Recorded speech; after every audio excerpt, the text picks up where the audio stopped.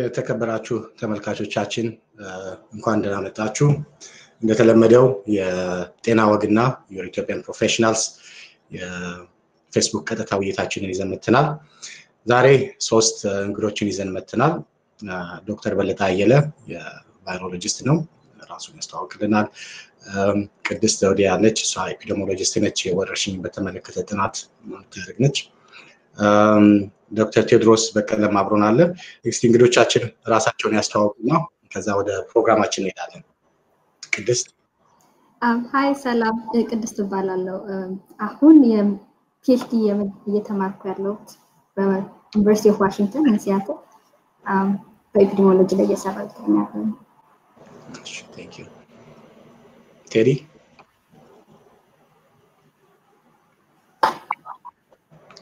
OK፣ በላይ መሄድ ትችላለህ። እስከዛ እሺ፣ እንዴት አመሻችሁ? ቴዎድሮስ እባላለሁ። በሙያ ሐኪም ቢሆንም በአብዛኛው በአብዛኛው የጤና ፖሊሲ እና የጤና ሪፎርሞች ላይ ስሰራ ነው የቆየሁት። ብዙውን ጊዜ የአፍሪካ ሀገሮችን በተለይም ከሳህራ በታች ያሉ የአፍሪካ ሀገሮችን ጤና ፖሊሲና ሪፎርም ላይ ነው ማገዛቸው። ፍፄና የብ በሁለታችሁም ስለጋበዛችሁኝ በጣም አመሰግናለሁ። ያለፉት ተከታታይ ጊዜያት እዚህ ማህበረሰብ ውስጥ ታስተምሩ ስከታተል ነበር። እኔ ራሴ ብዙ የተማርኩበት ስለሆነ በጣም አመሰግናለሁ። በርቱ።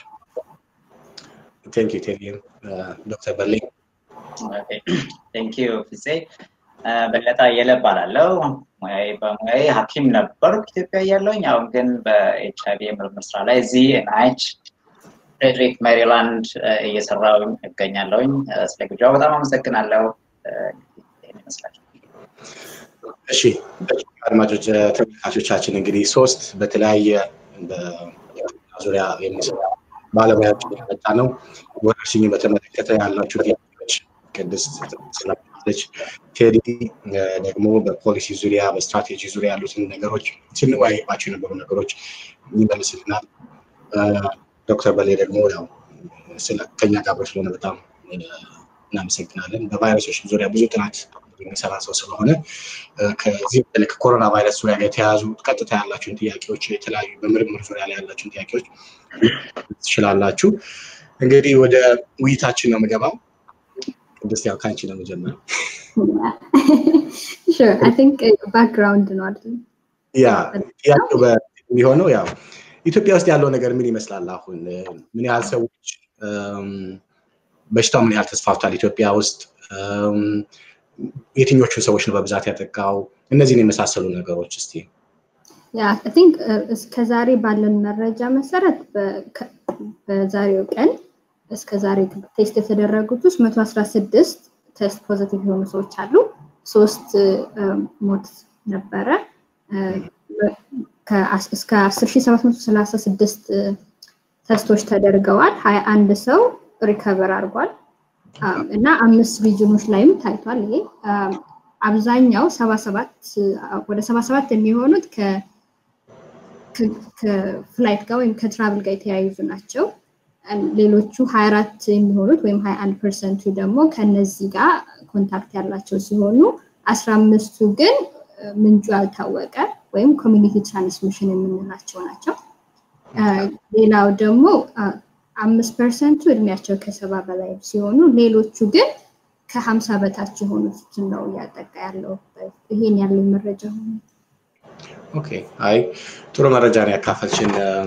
እንግዲህ እንዳየሁት ከአንቺም ስትናገር እንደሰማሁት በብዛት ኢትዮጵያ ውስጥ ከተያዙ ሰዎች ትንሽ በእድሜያቸው young ወይም ወጣቶችን ነው እንትን እያለ ያለው ከሀምሳ በታች ያለው እስከ ሰማንያ አራት percent ይሻል እና ከሰባ ዓመት በታች ያሉት ሰዎች ቁጥር ወደ አምስት ብቻ ናቸው። ምናልባት እሱ ሰዎች ሶስት ብቻ መሆናቸው ያው ብቻ እያንዳንዱ ሰው ሞት ብዙ እንትን ይላል። ግን በሀገር ደረጃ እና ከሌሎች ሀገሮች ጋር ሳነጻጽረው ነው እና ምናልባት በዚህ ምክንያት ሊሆን ይችላል የኛ ሀገር የወጣት ሰው መብዛት ወይም ደግሞ የተያዘው ሰው በእድሜ የገፋ ሰው መሆኑ አንድ factor ሊሆን ይችላል። ኢትዮጵያ ውስጥ ወረርሽኝ ሲገባ ይሄ መጀመሪያ ነው? በፊት የነበሩ ነገሮች አሉ? ከ history አንጻር እስቲ ምንድን ነው? Yeah ኢትዮጵያ ውስጥ ወረርሽኝ ሲገባ የመጀመሪያ አይደለም። of course ወረርሽኝ ይሄ pneumonia related ከሆነ I think የመጀመሪያ የተመዘገበው በ history 1706 አካባቢ ላይ ጉንፋን ወይም ጉንፋን related የሆኑ በሽታዎች እንዳሉ history ዎች ወይም መጽሐፍት ያመላክታሉ። ከዛ በኋላ ደግሞ በጣም severe የሆነ case የታየው የ Ethiopian famine የምንለው በ1889 አካባቢ ወደ ሀያ ሺህ የሚሆኑ ወታደሮችን pneumonia related death ገሏቸዋል ከረሃብ ጋር ተጨምሮ ማለት ነው። ያ ጊዜ የምናስታውሰው ከሆነ ምኒልክ ንጉስ በነበረበት ጊዜ ወይም ጣሊያኖች ምናምን ወረራ በተጀመረበት ጊዜ አካባቢ ነው። ከዛ በኋላ ደግሞ ያለን መረጃ በ1918 አካባቢ ስፓኒሽ ፍሉ የሚባለው በእኛ ሀገር ደግሞ የህዳር በሽታ በመባል የሚታወቀው በሽታ እንደተከሰተ መጽሐፍት ያስረዱናል ወይም የታሪክ ተመራማሪዎች ይገልጻሉ። ከዛ ውስጥ በ1918 የተነሳው ይሄ የህዳር በሽታ ወደ አጠቃላይ ወደ ሀምሳ ሺህ የሚሆኑ ኢትዮጵያውያንን እንደገደለ መረጃዎች ያሳያሉ። አስር ሺህ የሚሆኑት ደግሞ አዲስ አበባ ውስጥ ብቻ። ይሄ የሆነው ከጥቅምት እስከ ህዳር ወይም ህዳር መጨረሻ ባለው በሁለት ወር ጊዜ ውስጥ ነው እና We do have የ history of pandemic ኢትዮጵያ ውስጥ especially ይሄ influenza ጋር የተያያዘ history ው አለን። ይሄን ያነሳውበት አንድ ምክንያት ምንድነው? ብዙ ጊዜ የምንሰማው እንደዚህ አይነት ወረርሽኞች እኛ ሀገር አይመጡም፣ የተለያዩ ምክንያቶች ሊቀርቡ ይችላሉ እና በፊት happen አድርገዋል። influenza ማለት በባህሪው ከአሁኑ ያው አንድ category ውስጥ አይሆኑ በቫይረስ type የቱ አካባቢ ኢንፌክሽን እንደሚያመጣ ስናውቅም ተመሳሳይ ነው ከኮሮና ቫይረስ ጋር ነው። ኢትዮጵያ ውስጥ ይሄ ነገር ኖሮ ብዙ ሰውም ገሎ ስለሚያውቅ እንግዲህ ኢትዮጵያ ውስጥ እንደዚህ ነገር አይመጣም የሚለውን ነገር ትንሽ ወደ እንትን ይለዋል። በሌ በዚህ ነገር አለ የቫይረስ ነገር ያንተ ነው። ስለዚህ Well እንግዲህ ቫይረስ yeah ቅድስት ቆንጆ አድርጋ ገልጸዋለች። ምንድነው እንግዲህ አንድ ቫይረስ ወረርሽኝ ሊያመጣ የሚችለው ሶስት ባህሪዎችን ሊኖሩት ይገባል። የመጀመሪያው የሚሆነው ብዙ ጊዜ ከ environment ኡ ወይም ካለንበት አካባቢ ከእንስሳቶችም ሊሆን ይችላል ሰው ላይ ዘሎ ከዛ ሰው የኛ የመከላከል ብቃት ስለማይቆጣጠረው ይህ ቫይረስ እኛን attack ሊያደርገን ይችላል። ያ ባህሪ ሊኖረው ይገባል። ሁለተኛው ደግሞ ሰውን ካመመና ወይም infect ካደረገ በኋላ ይህ ቫይረስ በጣም የከፋ በሽታ ማምጣት አለበት። ቅድስት እንደገለጸችው ስፓኒሽ ፍሉ ወይም ደግሞ የህዳር በሽታ የሚባለው ከሀምሳ ሺህ በላይ የሆኑ ሰዎችን ገድሏል በዛን ወቅት። እንግዲህ ይሄ አንዱ ባህሪ ነበረ። ሶስተኛው ደግሞ የሚሆነው ይህ ቫይረስ በደንብ መተላለፍ አለበት። ከሰው ወደ ሰው የመተላለፍ ባህሪ በጣም እንትን መሆን አለበት እና እነዚህ የመተንፈሻ አካላችን የሚያጠቁት ቫይረሶች ለየት የሚያደርጋቸው ምንድን ነው? ለእነሱ በጣም ቀላል። ምክንያቱም በምንተነፍሰው ወይም ደግሞ በምናስነጥስበትና በምንስልበት ጊዜ የሚረጩ ትናንሽ droplet የሚባሉት ደግሞ እነዚህ ፍንጥቅጣቂዎች በቅርብ ርቀት ያለ ሰው ላይ በቀላሉ ማረፍ ስለሚችሉ እና ደግሞ ከዛም አልፎ ተርፎ በተለያዩ እቃዎች ምክንያት ስለሚተላለፉ እነዚህ ቫይረሶች በቀላሉ ከአንዱ አካባቢ ወደ አንዱ አካባቢ ከዛም አልፎ ከሀገር ሀገር ዓለምን የማጥለቅለቅ ባህሪ አላቸው። ስለዚህ የ Spanish flu በዛም ጊዜ እንግዲህ ኢትዮጵያ መጥቶ ነበር። የአሁኑ ደግሞ ካየነው ከሁለት መቶ በላይ የሚሆኑ ሀገሮችን እንደዚሁ አስቸጋሪ ሁኔታ ላይ ወረርሽኙ የተከሰተው በዛ በዛ ምክንያት ነው እና ስለዚህ ቫይረሶች በጥቅሉ በእንደዚህ አይነት መልኩ ይሄ እነዚህን ሶስቱን እንትኖች ካሟሉ ወረርሽኝ የመፍጠር እንትናቸው አቅማቸው በጣም ከፍተኛ ነው። ሌላ ሰሞኑን ሳይ ከነበረው ነገር ትንሽ ሲያሳስብ ነበር። በኢትዮጵያ ብቻ ሳይሆን like ያው ኢትዮጵያን ስናይ በጎረቤት ሀገሮችንም ማየት አለብን እና በተለይ በጅቡቲ ያለው የ case ኦች መብዛት፣ ብዙ ታማሚዎች መብዛት ኢትዮጵያ ላይ የሚያሳድረው ተጽዕኖ ምንድን ነው? ምክንያቱም የተቻለ ነገር ብናደርግም በየአካባቢያችን ደግሞ እንደዚህ በጣም መስፋቱ አይደለ ተመልሶ እንዲያገረሽ ያደርገዋል። ስትራቴጂያችንን በምን መልኩ ማየት አለብን? በተለይ እነዚህ በጣም በተቀራረቡና ተመሳሳይ ባህል አኗኗር ባላቸው ሀገሮች ውስጥ ይሄ ነገር ሲከሰት እንዳልከው I guess አሁን ጅቡቲ በጣም ቅርባችን ነች።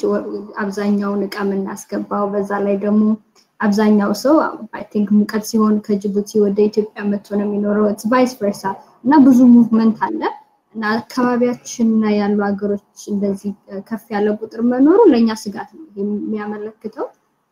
ማድረግ ያለብን እንግዲህ border ላይ የሚገባውና የሚወጣውን መቆጣጠር፣ quarantine ማድረግ አለብን። ይሄ travel regulation ኑም እዛ አካባቢ impose መደረግ እንዳለበት ያሳያል። ምክንያቱም አጠገባችን ካለ እኛ ጋር import ማናደርግበት እና ማይስፋፋበት ምንም ምክንያት የለም። በል የምትለው ነገር አለ እዚህ ላይ ወይም ፖሊሲ አቅጣጫ በተለይ ጎረቤት ሀገሮች እንደዚህ በጣም በዝቶ ሲታይ ከሚሰሩት test ብዛት እንትን አንጻር ብዙ ነው እና ምን መደረግ አለበት? especially ኢትዮጵያ በተመለከተ ከነዚህ ሀገሮች የሚመጣውን እንትን ለመቀነስ OK ምንድን ነው መሆን ያለበት? አሁን እንግዲህ ሁለቱም ሶማሊያም ጅቡቲም ከፍ ያለ ቁጥር አላቸው ከኛ በበለጠ I think ኢትዮጵያ መሰለችን በጣም ብዙ test ያደረገችው ለነገሩ ህዝብ ብዛቱን በዛ ያሉ ነኛ። ሆኖም ግን አሁን መሆን ያለበት ምንድን ነው? I think border ተዘግቷል በፊት እንግዲህ እንደሰማነው ከሆነ እና አሁን እሱን ማጠናከር ከዛ አልፎ ተርፎ ግን integration ያስፈልጋል። አሁን ጅቡቲ፣ ሶማሊያ እና የኢትዮጵያ መንግስት ተባብረው እንዴት ኤክስፖርት እና import የሰው ማለት የ case ኦቹን import እና ሰዎች ከአንዱ ሀገር ወደ አንዱ ሀገር እንዳይሸጋገሩ እንዴት ማቆም እንደሚቻል ሶስቱ መንግስታት ተነጋግረውበት border ኣቸው ጋር የተጠናከረ የመከላከል እንትን ያስፈልጋል። አለበለዚያ አይ የድሬዳዋ mayor ባለፈው ስትል ነበር እና እያጠናከረች ነው እንግዲህ እዛ ነው ትልቁ epicenter የሚሆነው ከጅቡቲ ወይንም ደግሞ ከሶማሊያ የሚመጣው እና ስለዚህ የሶስቱ ሀገራት ተቀናጅተው ከአንዱ ሀገር ወደ ሌላው ሀገር እንደዚህ አይነት ሰዎች እንዳይሄዱ እና ሌላው ስርጭቱ እንዳያባብሱት ማድረግ ነው። አይ በዚህ ላይ ቴዲ እንግዲህ more ስለሚኖረው መግለጽ ይችላል። think ወደ በኋላ በደንብ እንመጣበታለን። መንግስት የኢትዮጵያ መንግስት የተዘጋጀ ይመስለኛል። ገና መጀመሪያ የዛሬ ወር አካባቢ እንደዚህ እቅድ ሲወጣ እንደዚህ አይነት ሁኔታ ቢከሰት ተብሎ የተተነተነ scenario ስላለ በዛ ትንበያ መሰረት ይዘጋጃሉ። ያንን ነው የሚተገብሩት። ወደ በኋላ በደንብ በስፋት እንመጣበታለን። ድሬዳዋን በተመለከተ ግን አንደኛ ሙሉ በሙሉ መዝጋት ድንበር ሊያስቸግር ይችላል። ምክንያቱም እነሱ ወደ እኛ የሚመጣ እንፈልጋቸዋለን። ግንኙነቱ መኖር አለበት ወደ ኢትዮጵያ ዋናው መግቢያ ስለሆነ። ግን ለምሳሌ አንድ cluster ወይም የተወሰኑ ቦታዎች ላይ ብዙ case ሲታይ treat እንደሚደረገው እዛ ላይ ትኩረት ተደርጎ እንደሚሰራው ለጊዜው እንደዛ assume ማድረግ ያስፈልጋል ይመስለኛል። አሁን ድሬዳዋን ያለውን የ test kit የምርመራ መሳሪያ ተጠቅሞ ሄዶ targeted በሆነ መንገድ test ማድረግ ነው። እንደ ሌሎቹ ሳይሆን በጣም በስፋት test ማድረግ ያስፈልጋል፣ መመርመር ያስፈልጋል። የተቀመጡ ፕሮቶኮሎች ይኖራሉ። መጀመሪያ investigation team ነው የምትልከው ከፌዴራል ተነስቶ ወደ ታች ወደ እነዚህ hotspot ወደሚባሉት ሰው መሄድ ይኖርበታል። አሁን ድሬዳዋ ገና hotspot አልሆነም፣ ግን እንደዛ ማሰብ ያስፈልጋል። ያ investigation team ሄዶ ብዙ test ማድረግ ይኖርበታል። ብዙ ቤት ለቤት screen ቤት ለቤት ያሉትን የጤና ባለሙያዎች ተጠቅሞ ቤት ለቤት መመልመል፣ high risk የሚባሉትን ማየት፣ መፈተሽ እነሱንና test ማድረግ ልክ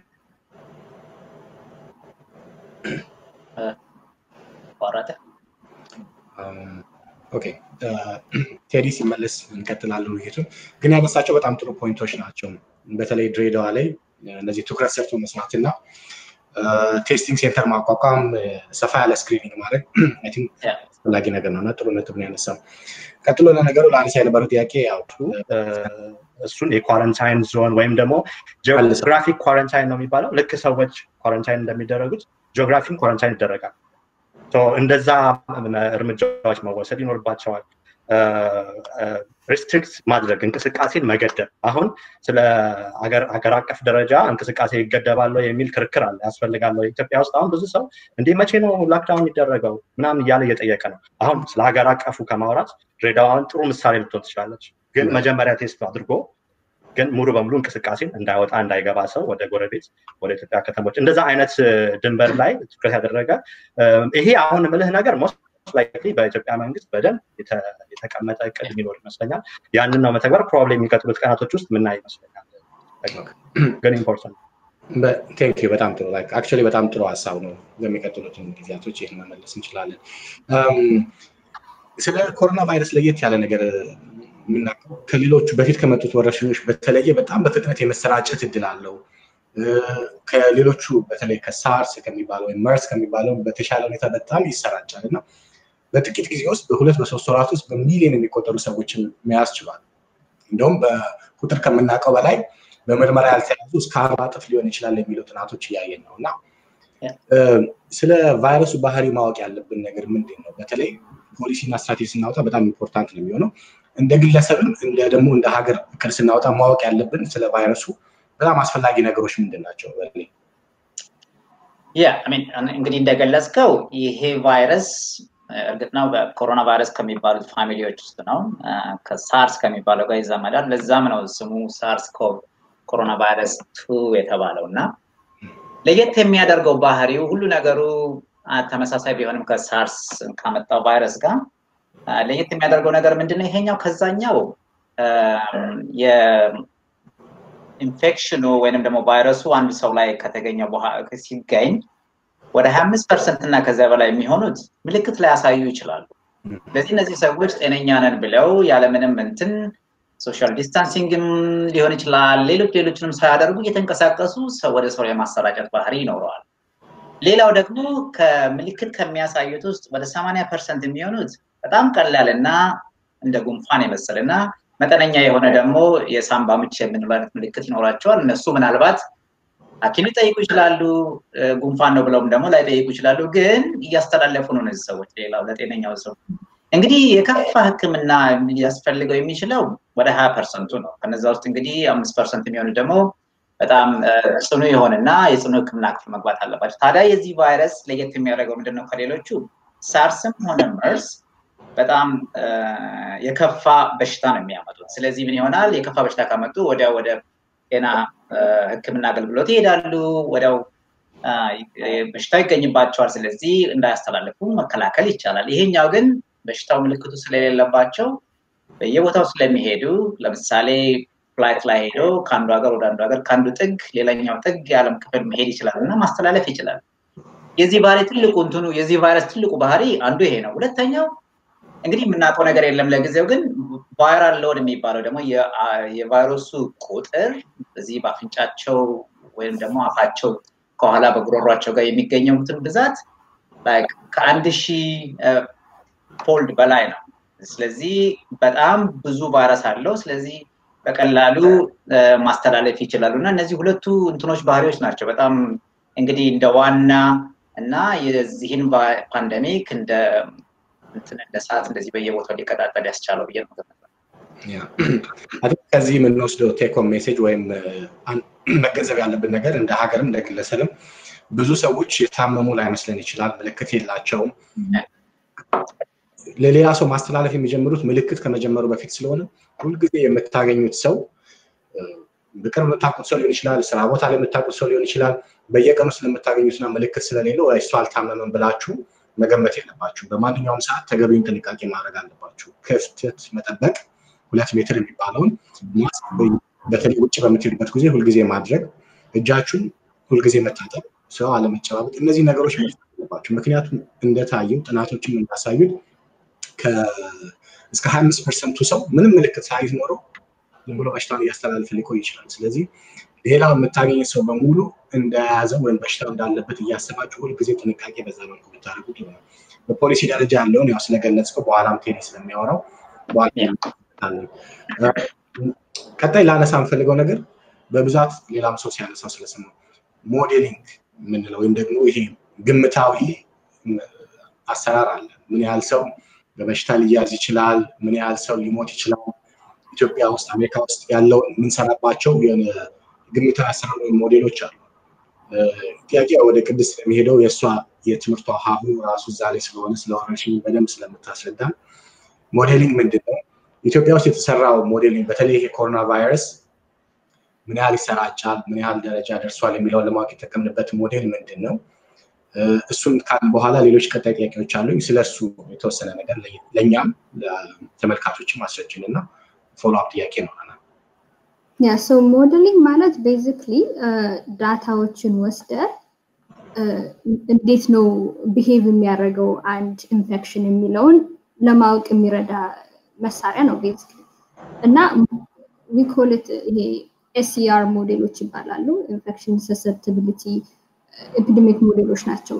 የሚወስዱት ማን ነው susceptible የሚሆነው፣ infection rate ኡ ምን ያህል ነው፣ death rate ኡ ምን ያህል ነው፣ ከ susceptibility እስከ ኢንፌክሽን ያለው ጊዜ ምን ያህል ነው፣ ከዛ በኋላ ደግሞ infect ከተደረግ እስከ death ወይም discharge recover እስከምታደረግ ያለው ጊዜ duration ምን ያህል ነው የሚለውን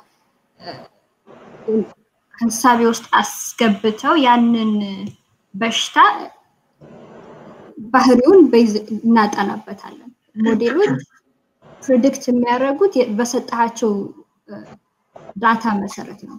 አሁን በኢትዮጵያ ላይ የተሰራው ከውጭ በመጣው data ነው። አንደኛ የ R naught የሚባለው ወይም የ disease infection rate ኡ አንድ ሰው ምን ያህል ሰውን infect የማድረግ አቅም አለው የሚለውን በኢትዮጵያ ሁለት ነጥብ አምስት ያው I think የ WHO recommend ያደረገውን የሚወሰን ነው።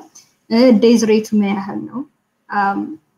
I think የለንደኖቹ zero point nine ተጠቅመው ነው የሰሩት። እኛ ሀገር ሲመጣ ያ ምን ያህል ነው የሚለውን ገና አናውቅም። ምክንያቱም ሶስት ሰው ብቻ ነው የሞተው። ያ ግን reality ነው የሚለው ሌላ ነገር ነው። በዛ ላይ ምን ያህል ሰው ነው susceptible የሚሆነው? የኢትዮጵያ ሞዴል ላይ ስናየው ሁሉንም የከተማ ነዋሪ ሀምሳ percent ኡን የገጠር ነዋሪ susceptible ብሎ ነው የሰራ። ይሄ ደግሞ ያው መሬት ላይ ስታመጣው ሊለይ ይችላል ግን disease ኡ ሌሎች ሀገሮች behave እንዳደረገ ኢትዮጵያ ውስጥ behave ቢያደረግ ምን ያህል ሰው ነው infect የሚሆነው? በሞዴሉ መሰረት ስልሳ ሚሊዮን ሰው ሰተ ነው ምን ያህሉ ሰው ነው infect የሚሆነው? ሌላ ሀገር behave እንዳደረገው ቢያደረግ የሚለውን ነው እንትን ያሉት። እና ጊዜውን ደግሞ ያው የሚያውቁት susceptibility ወይም ከኢንፌክሽን ከቫይረሱ ካገኘ በኋላ ኢንፌክሽን እስከሚኖረ ከዛ በኋላ recover እስከምታደረግ ያለውን time ወይም days ወስደው ነው። አንድ አድማጫችን የጠየቁት ጥያቄ አለ። ነጋ ነጋ ለቅድስት የጠየቁት እና በምኒልክ በምኒልክ ዘመን ወደ ሀያ ሺህ ሰው ወታደሮች ሞተዋል ከወረርሽኝ ጋር የሚለው ነገር መረጃው ከየት ነው የመጣው? እዚህ ጋር ማስረጃ yes አስቀምጣለሁ። ችግር የለውም። ሪቻርድ ፓንክረስት ናቸው የጻፉት እና በ1989 የሚለው የኢትዮጵያ ዓመተ ምህረት አይደለም፣ የ Gregorian calendar ነው። thank you for correction እዛ ላይ link ኦቹንም መላክ እንችላለን። ከስር ምናልባት ከቪዲዮም ካለቀ በኋላ ወይ በመሀል አጋጣሚ ካገኘን የሪቻርድ ፓንክረስት ቆንጆ ስለ ኢትዮጵያ ውስጥ ስላለ ወረርሽኝ ታሪክ የጻፉት አለ። እና አንዳንድ ጊዜ ይህንም አንደኛ ያነሳውበት ምክንያት modeling ኡ ትንሽ የመዘናጋት ነገር አለ። እኛ ሀገር ወረርሽኝ አይመጣም፣ በሽታ አይመጣም፣ እንደዚህ አይነት ነገሮች የሉም የሚል ነገር አለና በእርግጥ በፊትም ቅድም በደንብ እንደጠቀሽም በምኒልክ ጊዜም በ1889 በእንደ ፈረንጆች አቆጣጠር ቆይቶም ብዙ ወረርሽኞች መጥተዋል። አሁንም ደግሞ ምናልባት መጀመሪያ ላይ ሞዴሊንጉ ሲሰራ በጣም ብዙ ሰው ይታመማል፣ በጣም ብዙ ሰው ይሞታል የሚል አንዳንድ እንትኖች ነበሩ እና አሁን ደግሞ ያለው እስካሁን ያየነው አስራ ስድስት ሰዎች ናቸው የታመሙት። የሞተ ሰው ብዛት ሶስት ነው እና በሁለቱ መሀል ያለው ልዩነት አንዳንድ ሰዎችን ምናልባት ኢትዮጵያ ውስጥ የበሽታ አይስፋፋም የሚል የተሳሳተ ግምት እንዲፈጥር አድርጓል። እንዳየነው እንደ ኢትዮጵያ ተመሳሳይ ባህሪ ያላቸው እነ ጅቡቲ ለምሳሌ ብዙ case አለ። እዛ ማለት አንችልም። ያ ልዩነት ግን ከየት መጣ? በጣም አከራካሪ ነገር ስለሆነ የሁላችሁንም አስተያየት ፈልጋለሁ። እዚህ ላይ ከቅድስት ጀምርና ቴዲና በሌ ሀሳባችሁ እንድሰጡ ደስ ይለኛል። ስል እንዳልኩ ሞዴል behave የሚያደርገው በሰጠው data መሰረት ነው። ኢትዮጵያ ላይ አሁን ያለው መቶ data ነው እና መቶ data ተጠቅመ የምሰራው ሞዴል እና አሁን US ላይ almost ሚሊዮን ያለው predict የማድረግ አቅሙ በዛ ምክንያት ሊለይ ይችላል። ሁለተኛ ደግሞ የተጠቀሙት number እንደ ሞዴል behave እንደሚያደርገው አንተ በሰጠኸው parameter ኦች የተወሰነ ነው።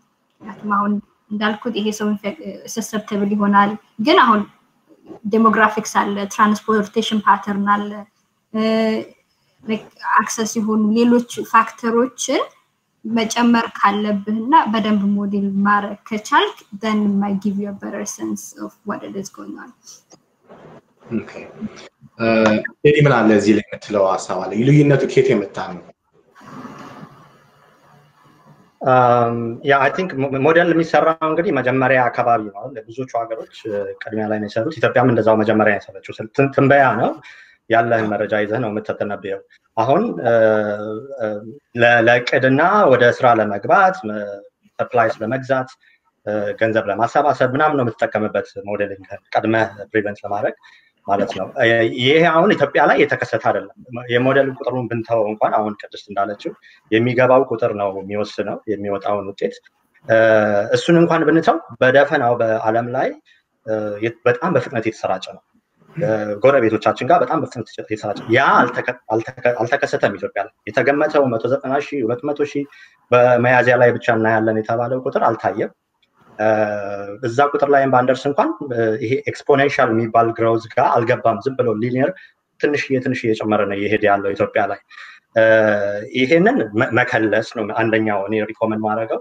ሌላ ሞዴል በቃ እንደ አዲስ ያለውን pattern ተከትለው። ለምሳሌ የኢትዮጵያ doubling time ቅድም ቅድስት አብራርታዋለች። የኢትዮጵያ doubling time እንደ ሌሎቹ ስድስት ቀን ላይሆን ይችላል። testing ኣችን ላይ ከተማመንን ማለት ነው confident ከሆነ እሱን እያስተካከሉ ሞዴሉን መከለስ። ያንን ሞዴል ስትከልሰው ያው ገንዘብም ስታሰባስብበት እቅድም ቦታህን ስትመርጥ ለስራ ትጠቀምበታለህ አንድ እሱ ነው። ሁለተኛ ግን ማንሳት የምንፈልገው overall የኢትዮጵያ ጤና ጥበቃ ሚኒስቴርም I think ቅዱስ ጳውሎስ ሆስፒታልም አሁን ኢትዮጵያ ላይ የተለየ የ pneumonia ቁጥር እየጨመረ ነው ወይ? የሳምባ ምች በተለየ ሁኔታ እየጨመረ ነው ወይ የሚለውን ለማየት ሞክረው ምንም አይነት በተለይ አምናም የካቲት አምና መጋቢት አምና ሚያዝያ ላይ ከነበረው ቁጥር የተለየ አጨማመር አላዩም። እና ወይም ደግሞ even ሞት ሊሆን ይችላል unexplained የሆነ ወይ ICU ውስጥ ሊሆን ይችላል የጽኑ ህሙማን ክፍል ውስጥ ሞት የተለየ ቁጥር አለ ወይ ምናምን የሚለውን አይት ፈትሸው የተለየ ነገር አላዩም። ይሄ ድምዳሜ ላይ የሚያደርስ increment አላዩም። ስለዚህ I think test እያደረግን ያለነውም ነገር የተወሰነ እንድናምነው የሞት ቁጥርም እንደዛው በቃ ይሄ ነው። ገጠር ኢትዮጵያ missed ሆኖ ይሆናል ምናምን ብለህ እንዳታስብ እንኳን ሰምሃው ወደዛ ድምዳሜ ነው የምትሄደው ገና ቢሆንም ማለት ነው። ስለዚህ ቀን እንደተጠበቀው ላይሆን ይችላል transmission ኑ አንደኛ። ሁለተኛ ይሄ delayed exponential growth ያሉታል። አሁን ደቡብ አፍሪካ በተለይ በጣም clearly ያዩት ማለት ነው። ጨመረ ጨመረና ትንሽ ቀነሰ ማለት ወይም ደግሞ ዝም ብሎ ብዙ ሳይጨምር ቆየ። ከዛ ቆይቶ ነው እንደገና exponential እያደገው የጨመረው። እኔም ገምተው አንደኛ ኢትዮጵያ እንደዛ አይነት pattern ውስጥ ትገባ ይሆን ነው። ትንሽ ቆይቶ exponential ሊገባ ይችላል ነው። ሌላው በብዛት serious የሆነ ህመም ሳይኖራቸው ያው ቅድም ቅድስት እንዳለችው ወጣቶች ስለሆንን በብዛት ህክምናው ይሄን ያክል ወደ even ወደ ምርመራ ምልክትም ወደ አለማሳየት በአለም ላይ ራሱ ከሰላሳ እስከ ሀምሳ percent አንዳንዴ እስከ ሰማንያም ሊሆን ይችላል depending on paper የምታነበው ወረቀት ላይ ይለያያል ግን እስከ ሰማንያ percent ድረስ ምልክት ላይኖራቸው ይችላል። ወይም ደግሞ በጣም መለስተኛ ምልክት ሊሆን ይችላል የሚያሳዩት። እና እነዛን ሁሉ ሳናያቸው ወደ ህክምና ተቋም ሳንሄድ worried ሳንሆን ምንም በቃ ሳይመስለን አልፎም ሊሆን ይችላል። እና እነዛን ነገሮች እየተነተኑ አምሹር እያሰቡበት ይመስለኛል። እየተነተኑ እንደ አዲስ የኢትዮጵያ scenario ምንድን ነው የሚመስለው የሚለውን ማየት። አሁን አይታችሁ ከሆነ ግብፅ አልጄሪያ ሞሮኮ እና ሳውዝ አፍሪካ ናቸው። በጣም ብዙ ቁጥር ያላቸው አይደለ? እና ከሆነ ሰው ጋር ያወራው ነበረ። ይሄ ከ equator በራቀ ቁጥር እየጨመረ equator አካባቢ ግን አነስተኛ የሆነ ነው የሚል አይደል ግምትም አለ። ይሄ የ latitude paper የተሰራ አለ። ግን ለአፍሪካ ነው እንጂ ሌሎች የዓለም ክፍሎች ላይ አልታየም እሱ ነገር። አፍሪካ ላይ ግን ብዙ ነገሮች ተጨማምረው እድሜ ማን ነው እድሜ environment genetics ብዙ የቫይረሱ strain ም ሊሆን ይችላል። የተለየ አንዳንድ ወረቀቶች የተለየ ነው የሚሉ አሉ ከቻይናው በተለይ የአውሮፓ ነው የሚመሳሰለው የአፍሪካ የሚሉ አሉ በዛ በዛ ምክንያት ብዙ እርግጠኛ ያልሆንበት ነገር ስላለ ቁጥሩ ለዛ ሊሆን ይችላል ያነሰው። ግን በጣም በጣም ቁልፉ ነገር ያው እየመረመሩ በምርመራ በሚገኘው ውጤት መሰረት መተንተን ያው እዚሁ እንደዚህ ነው ብለን እንድናልፈው ብዬ ነው። በተለየ ሁኔታ ኢትዮጵያውያን ያው ሰው በ comment ስለሚያስቀምጠው በአስተያየት ስለሚሰጠው መመለስ አለብን እና ኢትዮጵያን የተለየ እንዳይያዙ የሚያደርጋቸው ነገር አለ ወይ? በ በዚህ ቫይረስ ኮሮና ቫይረስ ጋር በተያያዘ በደንብ በፊትም አውርተነዋል።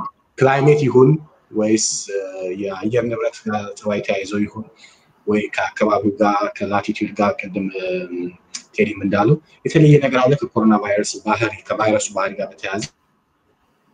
የሆነበት ምክንያት ኢትዮጵያ ውስጥ እስካሁን በኋላ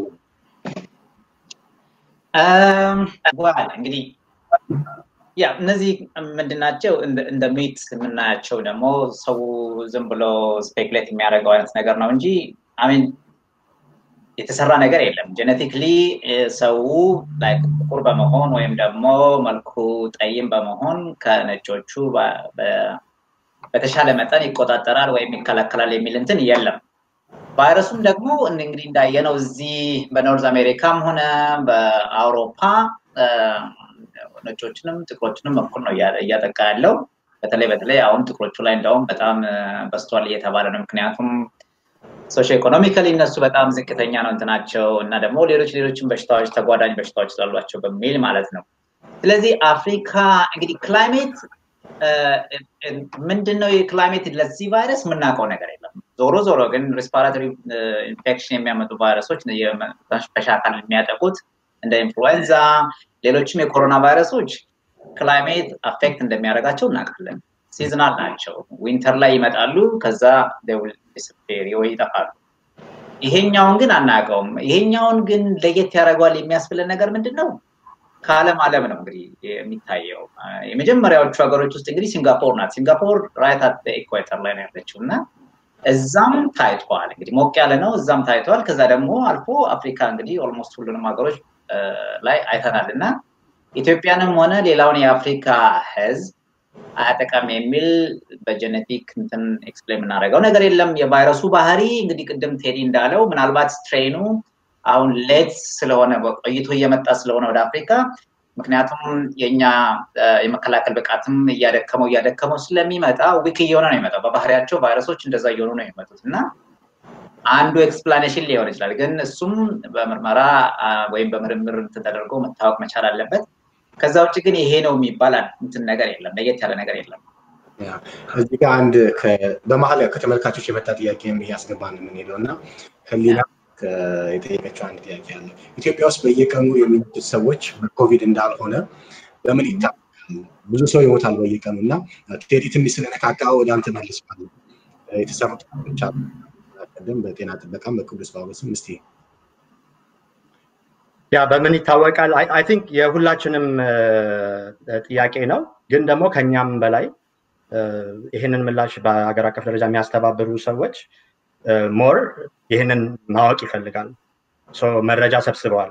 ሞት በምን ምክንያት ነው የሚመጣው የሚለውን test ም ያደርጋሉ። ብዙዎቹን እየመረመሩ ነው እና ኢትዮጵያውያን እንደ ዜጎች የሚከሰተው ሞት በኮቪድ ምክንያት ነው አይደለም የሚለውን ይጠይቃሉ። እርግጠኛ እንዴት መሆን ይቻላል ብሎ ይጠይቃሉ። ባለሙያዎች ግን ከዜጎች በላይ ደግሞ ማወቅ አለባቸው ያን ምክንያቱም እንደዛ ሲሆን ብቻ ነው ሊቆጣጠሩ የሚችሉት። ስለዚህ ያንን መረጃ already የተነተኑት ነው አይተውት ብዙዎቹ ሞቶች በኮቪድ ምክንያት እንዳልሆነ ያው test አድርገው አይተዋል። ወይም ደግሞ የ pneumonia እና የአይሲዩ ዴዝ የተለየ እንዳልጨመረ ታይቷል በፊቱ ማለት ነው። ይሄ አንድ የሚነግር ነው በዚህ ቫይረስ ምክንያት የመጣ የተለየ ሁኔታ እንደሌለ። I think እሱ ነው አንደኛው ማብራሪያ ሊሆን የሚችለው። ግን የበለጠ test እያደረጉ መለየት ይጠይቃል። I think ኢትዮጵያ ላይ ያው ብዙ ሰው test ሆኗል አለ ስምንት ሺህ በላይ ይሆናል ይመስለኛል። ብዙዎቹ በ case አስር ሺህ okay። በ case definition መሰረት ያው ማን tested ይሆናል የሚለው አለ። በዛ መሰረት tested የተደረጉ ናቸው እና ጥርጣሬ ሲኖር tested ይሆናል።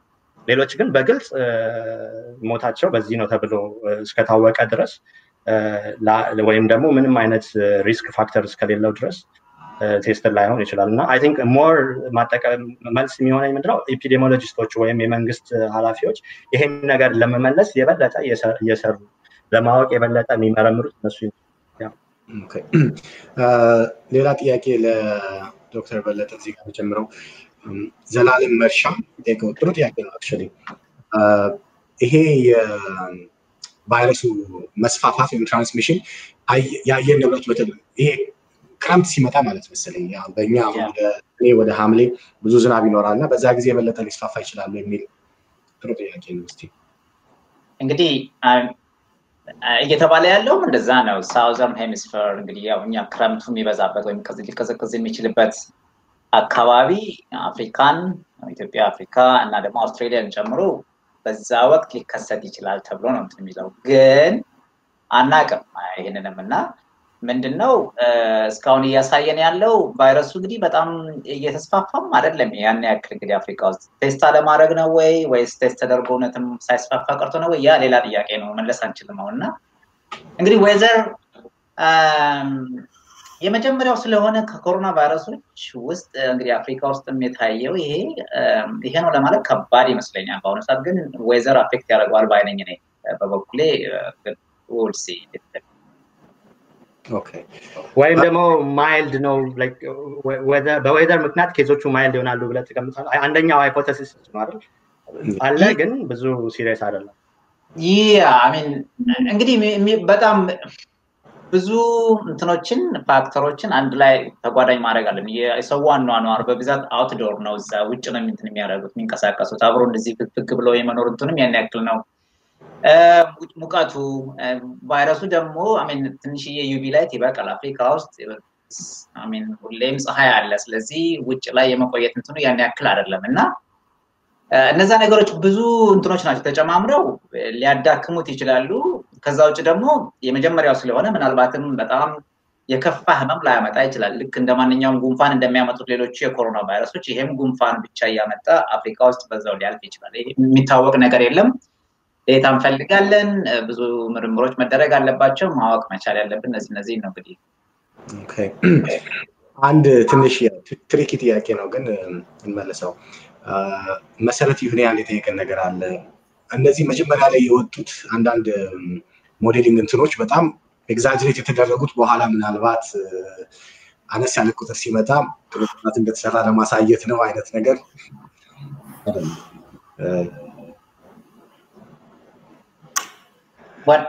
ለቴዲ እኔ በበኩሌ modeling ኡን በጣም ብዙም criticize ባናረገው ምንድነው የሆነው? የተጠቀሙት R naught የሚሉትን ወይንም ደግሞ አንድ በሽተኛ ሌሎችን ምን ያክል እንትን ያደርጋል የሚለውን ተጠቅመው የቻይናን ነው እንግዲህ የተጠቀሙት አብዛኞቹ including ኒውዮርክ actually። ኒውዮርክ ራሱ even the worst አይደለም ሌላውን በጣም ዝቅተኛው እንትን ላይም አልደረሱም። መቆጣጠር ችሏል። እንደዚህ የከፋ ቢሆንም እና እኛም ሀገር እንግዲህ ያንን የተጠቀሙት። ያ የሚረዳው ቅድም ቴዲ እንዳለው ለመዘጋጀት ነው ግን ይሄ assumption ወይም ደግሞ ይሄ ትንበያ በ data ው ባለን እንትን test ማድረግ አለብን። እያስገባን በየጊዜው የት ላይ ነን? በጣም ታችን ያለ ወይስ ከፍ ያለ ነው? ለዛም ነው እንግዲህ invest የምናደርገውን ነገር ማስተካከል የምንችለው prioritize ማድረግ የምንችለው እና መንግስት እንግዲህ ይሄንን ሲጠቀም ባለው information ነው እንጂ እውነትም ከፍ አድርጎ ከዛ በኋላ አይ እኛ ተቆጣጠር ነው ለማለትም የሚል እንትን አይደለም። እንደዛ ብሎ መገመት ትክክል አይደለም ባይ ነኝ።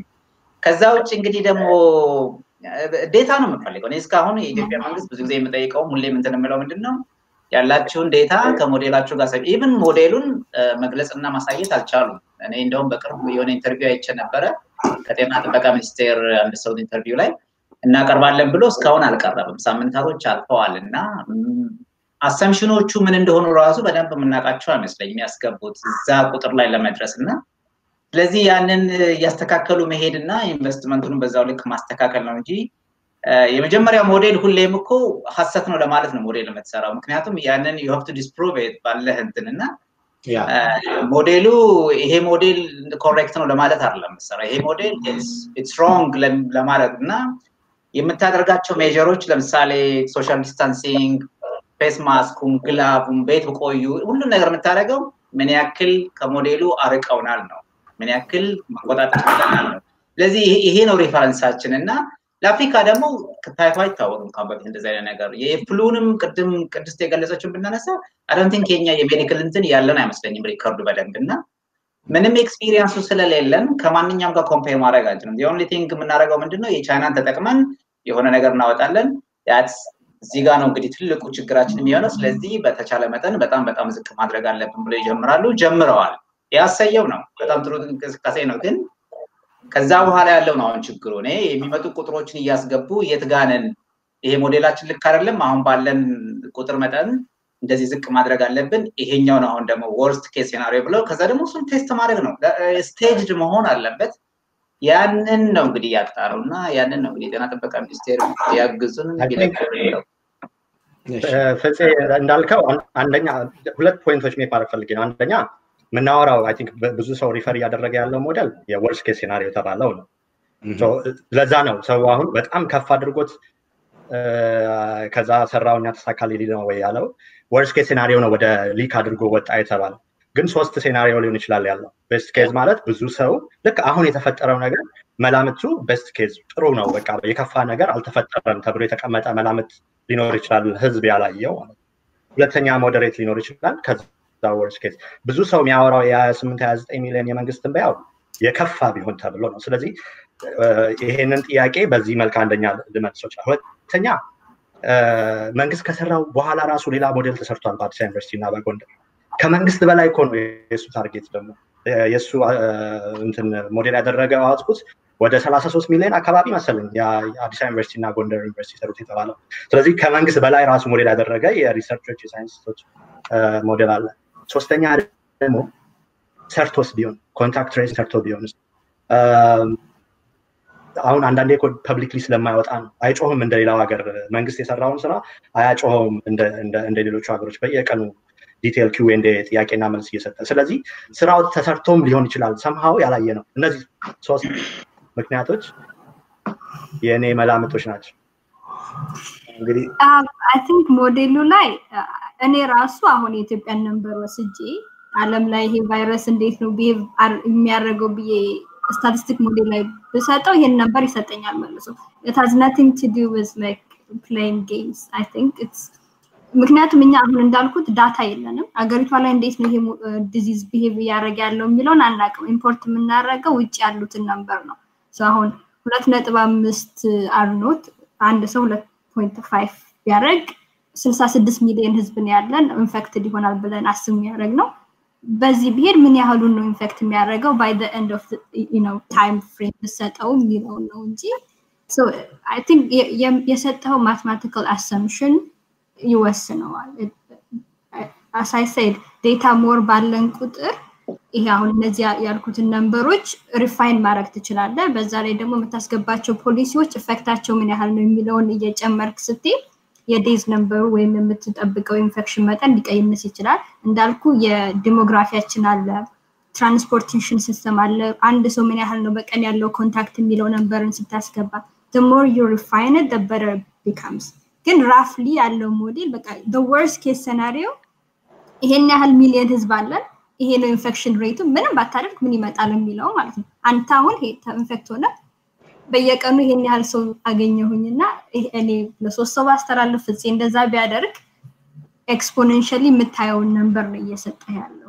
ግን more assumption ህን ባስገባው ቁጥር more data ሲኖር more behavioral understanding ሲኖር የአካባቢው ላይ refine ማድረግ ትችላለን ሞዴል ደግሞ I think we have to make sure that ሞዴሎች projection ናቸው።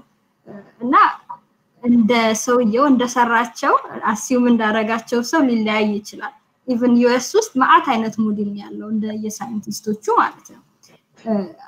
እና we should use them predict ለማድረግ ምን ያህል ይሆናል የሚለው እንጂ because ሞዴሉ ይሄን ያለው ይሄኛ ከዚህ ነው ዝቅ ያለው ብለን እነሱ ላይ በጣም rely ማድረግ አያስፈልግም። they're just telling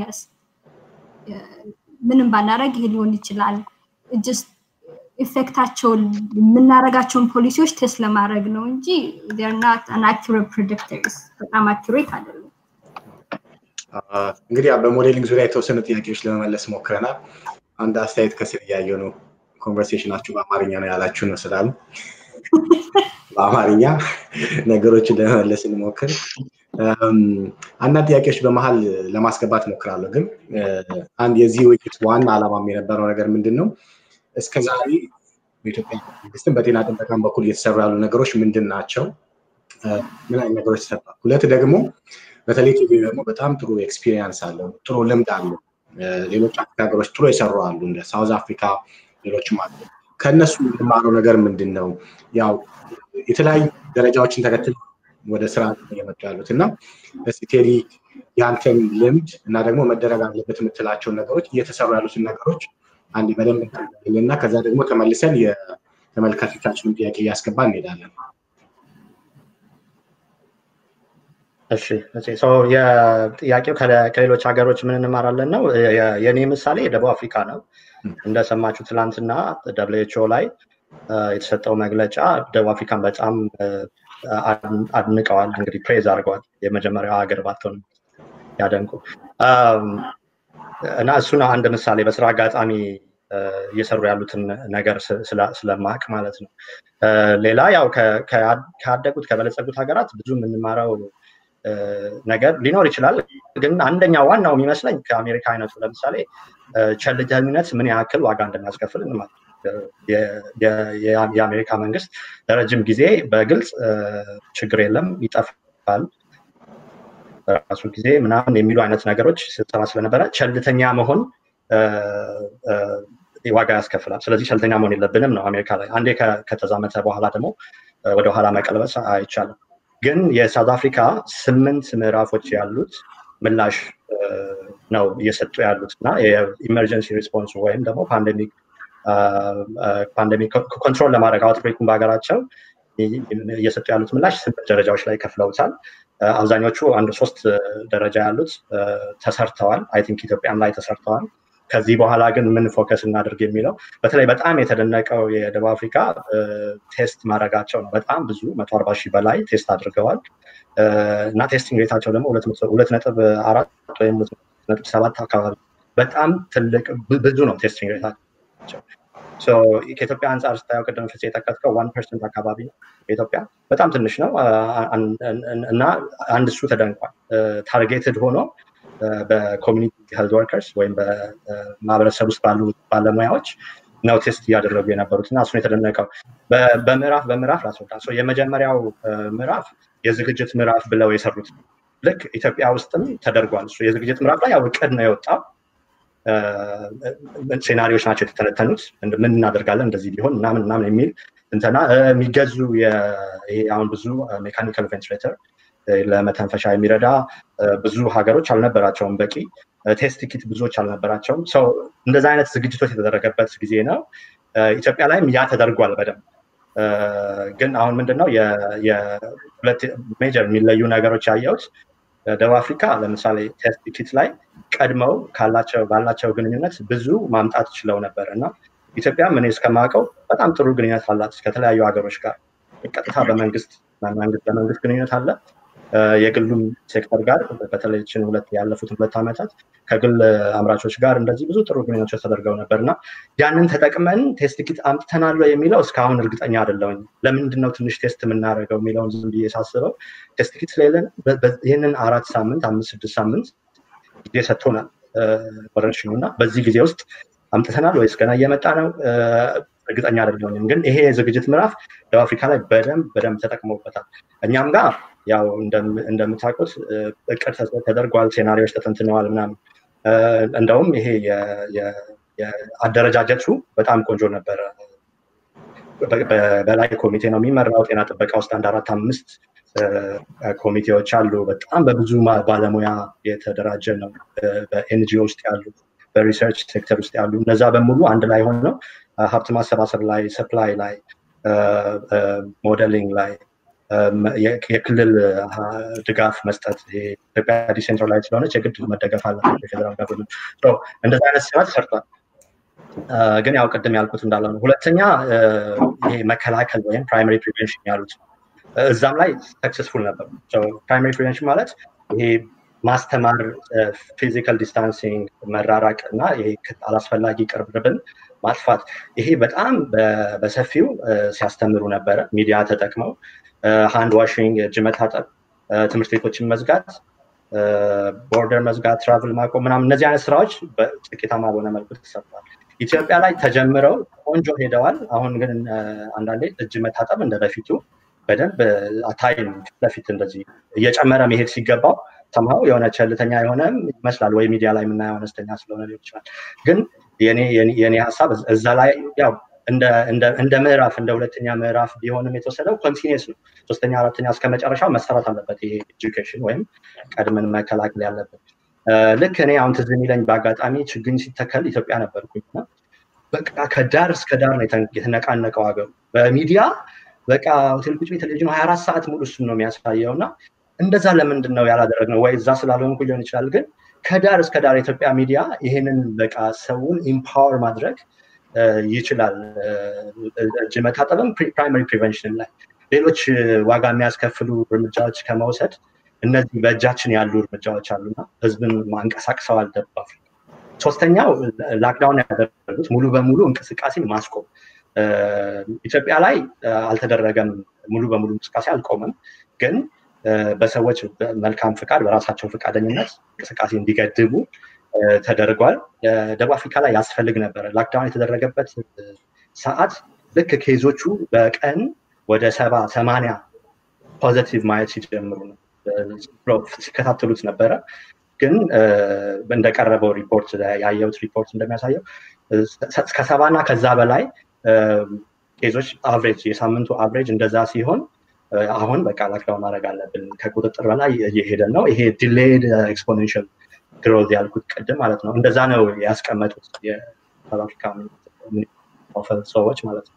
ያኔ ይሄ በቃ አሁን ነው መዘጋት ያለበት። ኢኮኖሚም ሆነ ሌሎች ተጽዕኖዎች ቢፈጥር እንኳን የግድ ጊዜ መግዛት አለብን ተብሎ ነው የተቀመጠው። በኋላ በደንብ የምናወራው ይሆናል። ግን ጊዜ ለመግዛት ስለፈለጉ ደተርሚንዶ ነው ላክዳውን አድርገው ነበር። ኢትዮጵያ ላይ ከላክዳውን ይልቅ ሙሉ በሙሉ እንቅስቃሴን ከመዝጋት ይልቅ ማህበራዊ ፈቀቅታ መሰለኝ አላስፈላጊ ቅርበትን ማቆም በደንብ እሱን ልክ ቅድም በሚዲያ እንዳልነው ሁሌ አሁን የዶክተር ሊያ የክብር ሚኒስትሯ ላይ ሁሌ ነው የሚጻፈው ሪፖርት ላይ በቃ ያስፈልጋል ተራራቁ ይህን ያክል ርቀት መራራቅ አለባቸው ምናምን የሚለው ያ የጽሁፍ መልእክት ንቅናቄ ተደርጎ በቃ ሰው ሁሉ ማወቅ አለበት በተግባር እንዲመነዘር ማለት ነው። ደግሞ one way ብቻ ስለተናገርክ ብቻ ሰው ባህሪውን ቀይሯል ማለት አይደለም። እንደዛ አይነት ብዙ የኢትዮጵያ ላይ ብዙ የመንግስታዊ ያልሆኑ ድርጅቶች አሉ NGOዎች specialize ያደረጉ communication ላይ ናትና ይሄ በቴክኒክ እውቀት የታገዘ ማስተማር ይጠይቃል። አራተኛው case ነው በጣም interesting አራተኛው ምዕራፍ active case finding የሚሉት ወይም ቤት ለቤት እየሄዱ ምልክቱ ያለባቸውን ሰዎች መለየት ነው። ይሄ በሀያ አራት ሺህ ሀያ ስምንት ሺህ ሺህ በላይ የማህበረሰብ ጤና ባለሙያዎች community health workers ተሰማርተው ቤት ለቤት እየሄዱ screen ያደረጉበት ነው የለዩበት ነው እና ወደ አስራ ስምንት ሚሊዮን ይመስለኛል። last week አስራ ስድስት ሚሊዮን ነበር። እንደዚህ በጣም ብዙ ሰዎች ተለይተዋል። ይህን አሁን case positivity rate ነው የሚባለው። እሱን ወደ two point four percent እንደዚህ ያሳደገው በጣም እየለዩ ስለነበረ። ሲለዩ ደግሞ ያው quarantine መደረግ ያለበት quarantine ይደረጋል isolate መደረግ ያለበት isolate ይደረጋል። አሁን ኢትዮጵያ ላይ ዜና ካየው ቆየ የ community workers የኢትዮጵያ ጤና extension ሰራተኞች ይሰማራሉ የሚል ካነበብኩ ቆይቷል። ግን ይሄ በሀገር አቀፍ ደረጃ በደንብ በቃ organized ሆኖ ፊሽካ ተፍቶ ሁሉም ሰው ከዳር እስከ ዳር screen የሚደረግበት ስርዓት ውስጥ ገብተናል ወይ? አንድ ትልቅ potential እየተጠቀመን ነው ወይ?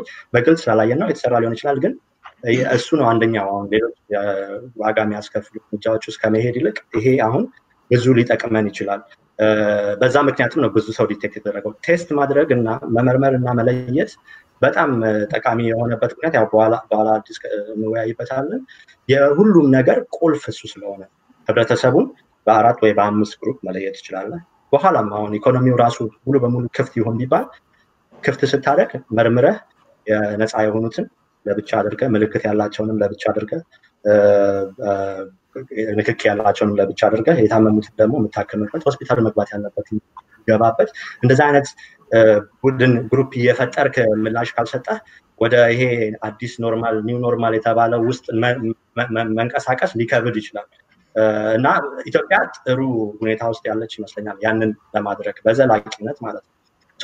እሱ ነው case finding። አሁን ቅድም የምናወራቸው ነገሮች ቤት ለቤት እየሄድን አምሳ ይገባ በቀን positive ብናገኘው አሁን አሁን የምናየው አንድ percent ነው። ሰው ከአስር ሺህ ውስጥ መቶ ምናምን የተገኘ ሀምሳ በቀን ብናገኝ ወይ ስልሳ በቀን ብናገኝ የምንወስደው የፖሊሲ እርምጃ እዛ ላይ ይወሰናል። በአብዛኛው ደግሞ mild ከሆኑ ወይም ደግሞ ብዙ serious ምልክታቸው የከፋ ካልሆነ እና መለስተኛ ምልክት ካላቸው በሂደት አይተኸው የምትወስደውን እርምጃ በዛ መልኩ ትቃኛለህ ማለት ነው። ይሄንን እያደረጉ ነው ያሉት አሁን በጣም ትልቅ መሳሪያ የሆናቸው እሱ። ሌላ ከዛ ሲከፋ እንግዲህ አምስተኛው ደረጃ hotspot የሚባለው ነው ልክ ቅድም በጅቡቲ በድሬዳዋ እንዳወራ ነው ማለት ነው ኢትዮጵያ ላይ አዳማ ላይ ለምሳሌ case ታይቶ ነበር መጀመሪያ አካባቢ አይደለም ሌሎችም ክልሎች ላይ caseኦች ከታዩ ምልክቶች ከታዩ positive ሰዎች እነሱን ትንሽ በርከት ያለ ሰው እዛ አካባቢ እየመረመርክ ዋና የ hotspot የመሆን ወይም ብዙ caseኦች የሚታዩባቸው አካባቢ የመሆን ዕድላቸውን አይተህ ያንን ደግሞ እርምጃ መውሰድ ነው። አምሹር እቅድ አለ። አንድ hotspot ቢፈጠር ምን አይነት እርምጃዎች ነው የምንወስደው የሚል serious የሆነ የ public health measure ያስፈልጋል። surveillance ያስፈልጋል። restrict ማድረግ surveillance ማለት እንግዲህ ያው እየሄዱ መለየት፣ መመርመር እና መረጃን document እያደረጉ እርምጃ መውሰድ ማለት ነው። እነዚህ ነገሮች hotspotኦች ላይ በተለየ መልኩ አሁን ሀብት የተወሰነ ስለሆነ ያለን hotspot ሊሆኑ የሚችሉ አካባቢዎችን እየለየን ለዛ ማድረግ ልክ ደቡብ አፍሪካን በዛ ጥሩ ሆኗል። ለምሳሌ ዋናዎቹ ከተሞች ላይ እንደዛ ማድረግ ችለዋል። ብዙ ቁጥሮች ያሉባቸው ማለት ነው። ስድስተኛ ደረጃ የሚባለው ያው ከሀትስፓት ሰፋ ሲል ደግሞ ሆስፒታሉ ይጨናነቃል። ኬዞቹ ወደ ማዕከል ትላልቅ ከተሞች በጣም ቁጥራቸው ቢጨምር ከቁጥጥር ውጭ ኮንቴን ለማድረግ የሚያስቸግር ስርጭት ቢኖረው ሆስፒታል ላይ ምንድን ነው የምናደርገው? ያው የሆስፒታል ሕክምና ከዚህ በፊት I think ተወያይታችሁበታል ይመስለኛል። ያላት የኢትዮጵያ አቅም ምንድን ነው? በዛ አቅም ልክ ምን ምን አይነት እርምጃዎችን ነው መውሰድ የምንችለው የሚለውን ያው የለዩ እርምጃ መውሰድ ነው። አሁን ደቡብ አፍሪካ ያው እዛ ላይ ተዘጋጅታ ነበረ። ያለው case ግን ያው በጣም ከሆስፒታል ቁጥጥር ውጭ የሚወጣ የወጣ አይደለም። አሁን ባለው ሁኔታ በአብዛኛው የመከላከል እና የመቆጣጠር ስራቸው በኋላ እንመጣበታል። containment ወይም መቆጣጠር እንደ control ነገር እዛ ላይ ጥሩ ጥሩ እየሄዱ ነው። ኢትዮጵያም I think ከ containment አንጻር I think successful ነው ማለት ይቻላል።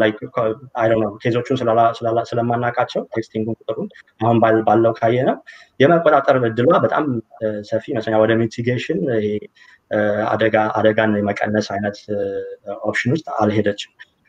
ስድስተኛ በአብዛኛው የሆስፒታልን አቅም ማስፋት፣ የ ICU የጽኑ ህሙማን ክፍልን ቁጥሮች መጨመር ልክ አሁን ሚሌኒየም አዳራሽ እንደሚደረገው የአመቺ ሁኔታ መፍጠር የ field ሆስፒታል አይነት መፍጠር እና ልክ ሲፈለግ መጀመር ማለት ነው ው ሲደርስ። ሌላ እንግዲህ ሰባትና ስምንት ላይ የግድ ሰባተኛ እና ስምንተኛ ደረጃ ላይ የሚያዩት እነሱ ተዘጋጅተውበታል ደቡብ አፍሪካ እኛ ሀገርም I think ዝግጅት ይኖራል ብዬ ገምታለሁ ግን ብዙ እኛ ማንወያይበት ምናልባት ለእኛ setting ም የሞት ቁጥር እየጨመረ ስላልሆነ ብዙ እንደዚህ በጣም ሰፊ ዝግጅት ሲደረግ በግልጽ እንደዚህ ሲደረግ ላታይ ትችላለ። ግን aftermath የሚሉት ከሌሎች ሀገሮች ላይ እንደተደረገው ሞት ቢበዛ እንዴት ነው የሚስተናገደው? የአካባቢውን የማህበረሰቡን ሁኔታ ከግምት ባስገባ መልኩ የቤተሰባችን አኗኗር እና ባህል ልምድ እንደዚህ ከግምት ባስገባ መልኩ እንዴት ነው የማህበረሰቡን psychosocial ማህበራዊ እና የአጠቃላይ ስነ ልቦና ድጋፍ ልናደርግ የምንችለው? እንዴት ነው ሰው ሀዘን በአግባቡ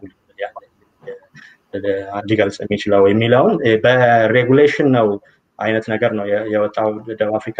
እንደዚ አይነት ዝግጅት አድርገው ቆንጆ ተዘጋጅተዋል። ኢትዮጵያም post ላይ እንደዚ አይነት ሁኔታ አይ በዜናም ያየው ይመስለኛል።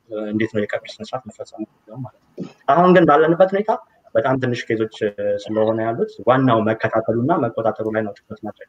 የመጨረሻው ዛሬ መዘጋጀት ያለብን እስኪደርስ መጠበቅ የሌለብን ያው ይሄ wave ካለፈ በኋላ ሁለተኛ ሊመጣ ይችላል። ገና wave አልተፈጠረም ኢትዮጵያ ላይ ግን ቢፈጠር አንዴ ካለፈ በኋላ ሁለተኛው እንዴት ነው የምንዘጋጅበት? አሁንም እንደ ልብ test ማድረግ እንደ ልብ መመርመር እንችላለን። ያለንን ሀብትና ያለንን ግንኙነት በሙሉ ተጠቅመን በርካታ test ኦችን መግዛት antibody ም ከመጣ I think በበለጠ በለጠ ያስረዳዋል። እሱንም ከአሁኑ ከአምራቾች ጋር ግንኙነት እያደረጉ ማቅረብ እና ማዘጋጀት። ልክ ጊዜው ሲመጣ ያው competition ኑ መጨመሩ ስለማይቀር ማለት ነው አብረውን የሚቆይ ሁኔታ ስለሆነ። እነዚህ ስምንት step ኦች ናቸው ደቡብ አፍሪካ ለስምንት ምዕራፍ ከፍለው እየተገበሩ ያሉት። ብዙ ተደንቋል በተለይ containment ላይ ማለት ነው መቆጣጠር ላይ እና ኢትዮጵያም አይታወቅም። ያው የእኛ ልምድም ስኬታማ ከሆነ በዚህ መልኩ በደንብ ጠንክረን ከሰራን ከ containment ላናልፍ እንችላለን ገምታል Thank you ቴዲ በጣም ጥሩ መልስ ነው። I think ተመልካቾቻችን ብዙ ነገር ያገኙ ይመስለኛል። ጥያቄ ያላቸውም አስቀድሞም ተመልሶ ሊሆን ይችላል። በጣም ጥሩ ጥሩ እንትኖች ናቸው እና ምናልባት በእነዚህ በተላላፊ በሽታዎች ላይ ጥሩ ልምድ ባይሆንም ብዙ ልምድ አለን እና ያ ልምድ ሊጠቅመን ይችላል የሚል ነገር ነው የወሰድኩት። ተመልካቾች ብዙ ጥያቄ ስላላቸው አጠራጠር ያሉት ጥያቄና መልስ ነገር እናደርጋለን። ጥያቄዎቹን እያመጣን አንዳችሁ ትመልሱልናላችሁ። የመጀመሪያው ጥያቄ ለበሌ ነው የማደርገው። አዳቸው ወርቅነህ ያለው ምንድነው ከዋይት ሀውስ የወጣ አንድ መግለጫ ነበረ። ቀድመን መልሰነዋል። በእርግጥ ከዌዘር ጋር በተያያዘ እንትኑ በተለይ ሙቀታማ ነገር እንደዛ ሊተነደሩ ጥያቄ ሆነ ሙቀታማ ነገር ከሆነ ወይም ሂሚድ ከሆነ ብዙ ላይ ስፋፋ ይችላል እና ያ እንዳያዘናጋን ምን የምትለው ነገር አለን የመሰለኝ ጥያቄው። እንግዲህ የዚህ ቫይረስ ቅድም እንዳልኩት እንግዲህ ቫይረስ ባህሪ አናውቀው ግን እንደ ሌሎቹ ቫይረሶች ሁሉ enveloped virus ነው። enveloped ማለት membrane ኑ lipid ያለው ስለዚህ በቀላሉ ሊጎዳ የሚችል እና ከዛ infect ላያደርግ የሚችል ነው። አንዱ እንግዲህ ምንድነው ሙቀት ነው። ሌላው ደግሞ humidity ነው። እነዚህ ሁለቱ የሚሉት ለእነዚህ አይነት ቫይረሶች ዋናው ምንድነው temperature ሩ በቀነሰ ቁጥር እና humidity ው በቀነሰ ቁጥር ለእነሱ ጥሩ ነው። ምክንያቱም የመጎዳት እና non infectious ወይም ደግሞ infect የማያደርግ የመሆን እንትናቸው እድላቸው ይቀንሳል። ስለዚህ በቀላሉ ይተላለፋሉ። ግን ዋናው የኛ የሰዎቹ behavior ነው። ምክንያቱም በቅዝቃዜ ወቅት እና እንትን ባለበት ሰዓት ሁላችንም ስለምንሰባሰብ የመተላለፍ ባህሪው ሙቀቱ ራሱ ብቻውን ሳይሆን የኛ የሰዎቹ የራሳችን ባህሪ ነው እንግዲህ ቫይረሱን ከአንዱ ወደ አንዱ እንዲተላለፍ የሚያደርገው። ግን የአፍሪካን በአጠቃላይ ካየነው አብዛኛው outdoor ነው activity ያችን፣ ብዙም indoor እንትን የለም። indoor ካለ ሙቀቱና humidity ውን ያን ያክል affect ያደርገዋል ብዬ አልገምትም። ምክንያቱም በአጭር ጊዜ ውስጥ መሆን አለበት። እዚህም ቢሆን እንግዲህ በተደረጉት ምርመራዎች ሊቆይ ይችላል ለተወሰነ ሰዓት፣ ግን በአብዛኛው half life የሚባለው ላይ ከሀምሳ percent ኡ infectious ቫይረስ retrieve ልታደረግ የምትችለው ለምሳሌ አየር ላይ ከሆነ አንድ ሰዓት ነው እቃዎች ላይ ከሆነ ደግሞ ብዙ ጊዜ እስከ ስምንት ሰዓት ነው፣ ከዛ በላይ አይቆይም፣ ይሞታል በራሱ ጊዜ። ስለዚህ ሙቀት ላይም ከዛ በዛ በበለጠ እንትን ሊጎዳና ሊሞት ይችላል። ስለዚህ ዋናው እንትን የሙቀቱ እና humidity ው የእኛን ነው እንጂ የቫይረሱ behavior ላይ ያለው እንትን ያን ያክል አይደለም ብለው አሁን ደግሞ ያየነውም እንደዛ ነው። ምክንያቱም ሞቃት ሀገርም ቀዝቃዛ ሀገርም equally ሁሉንም affect አድርጓል። magnitude ኡ ሊለያይ ይችላል፣ ወይም የበሽታው እንትን ሊለያይ ይችላል። እሱ ደግሞ እንግዲህ ከሀገር ሀገር ሌላም ጋር ያየነው ነው የሚለያይበት ምክንያት አለ። እና እኔ እንደዛ ነው ይመስለኝ። ግን በጥቅሉ አጠቃላይ የቫይረሶችን የነዚህ የኮሮና ቫይረሶችን እንትን ካየን ከቫይረሱ side ሆኜ እንትን ባድርግ yes ሙቀትም humidity ም ሊጎዳው ይችላል። ስለዚህ ሲሞቅና humidity ው ከፍ ባለ ቁጥር ይቀንሳል ባይ ነኝ እኔ ግን ለየት ስላለብን አሁን አላወቅነው ማጥናት አለብን ነው ምለው ይህን ቫይረስ። ለእኔ አጭር መልስ ጅቡቲ መሰለችኝ እንግዲህ። ስለዚህ አትዘራ እዛ መዘናጋት የለብንም ነው ምለው የትኛውም ቦታ አሁን የትም ነው ያለው። ሌላ ጥያቄ ማሊካ ኪዳኔ የጠየቀችን ነው። ከእንስሳት ጋር በተያያዘ በተለይ ድመቶችና ድመቶች በተመለከተ እነሱ ላይ ኢንፌክሽን ሲመጣ አይተናል እና የእነሱ factor ምን ያህል ነው የመተላለፍ ይሄንን ወረርሽኝ በማባዛት እንትን ሂደት ላይ ብዙ ተጽዕኖ አላቸው ወይ?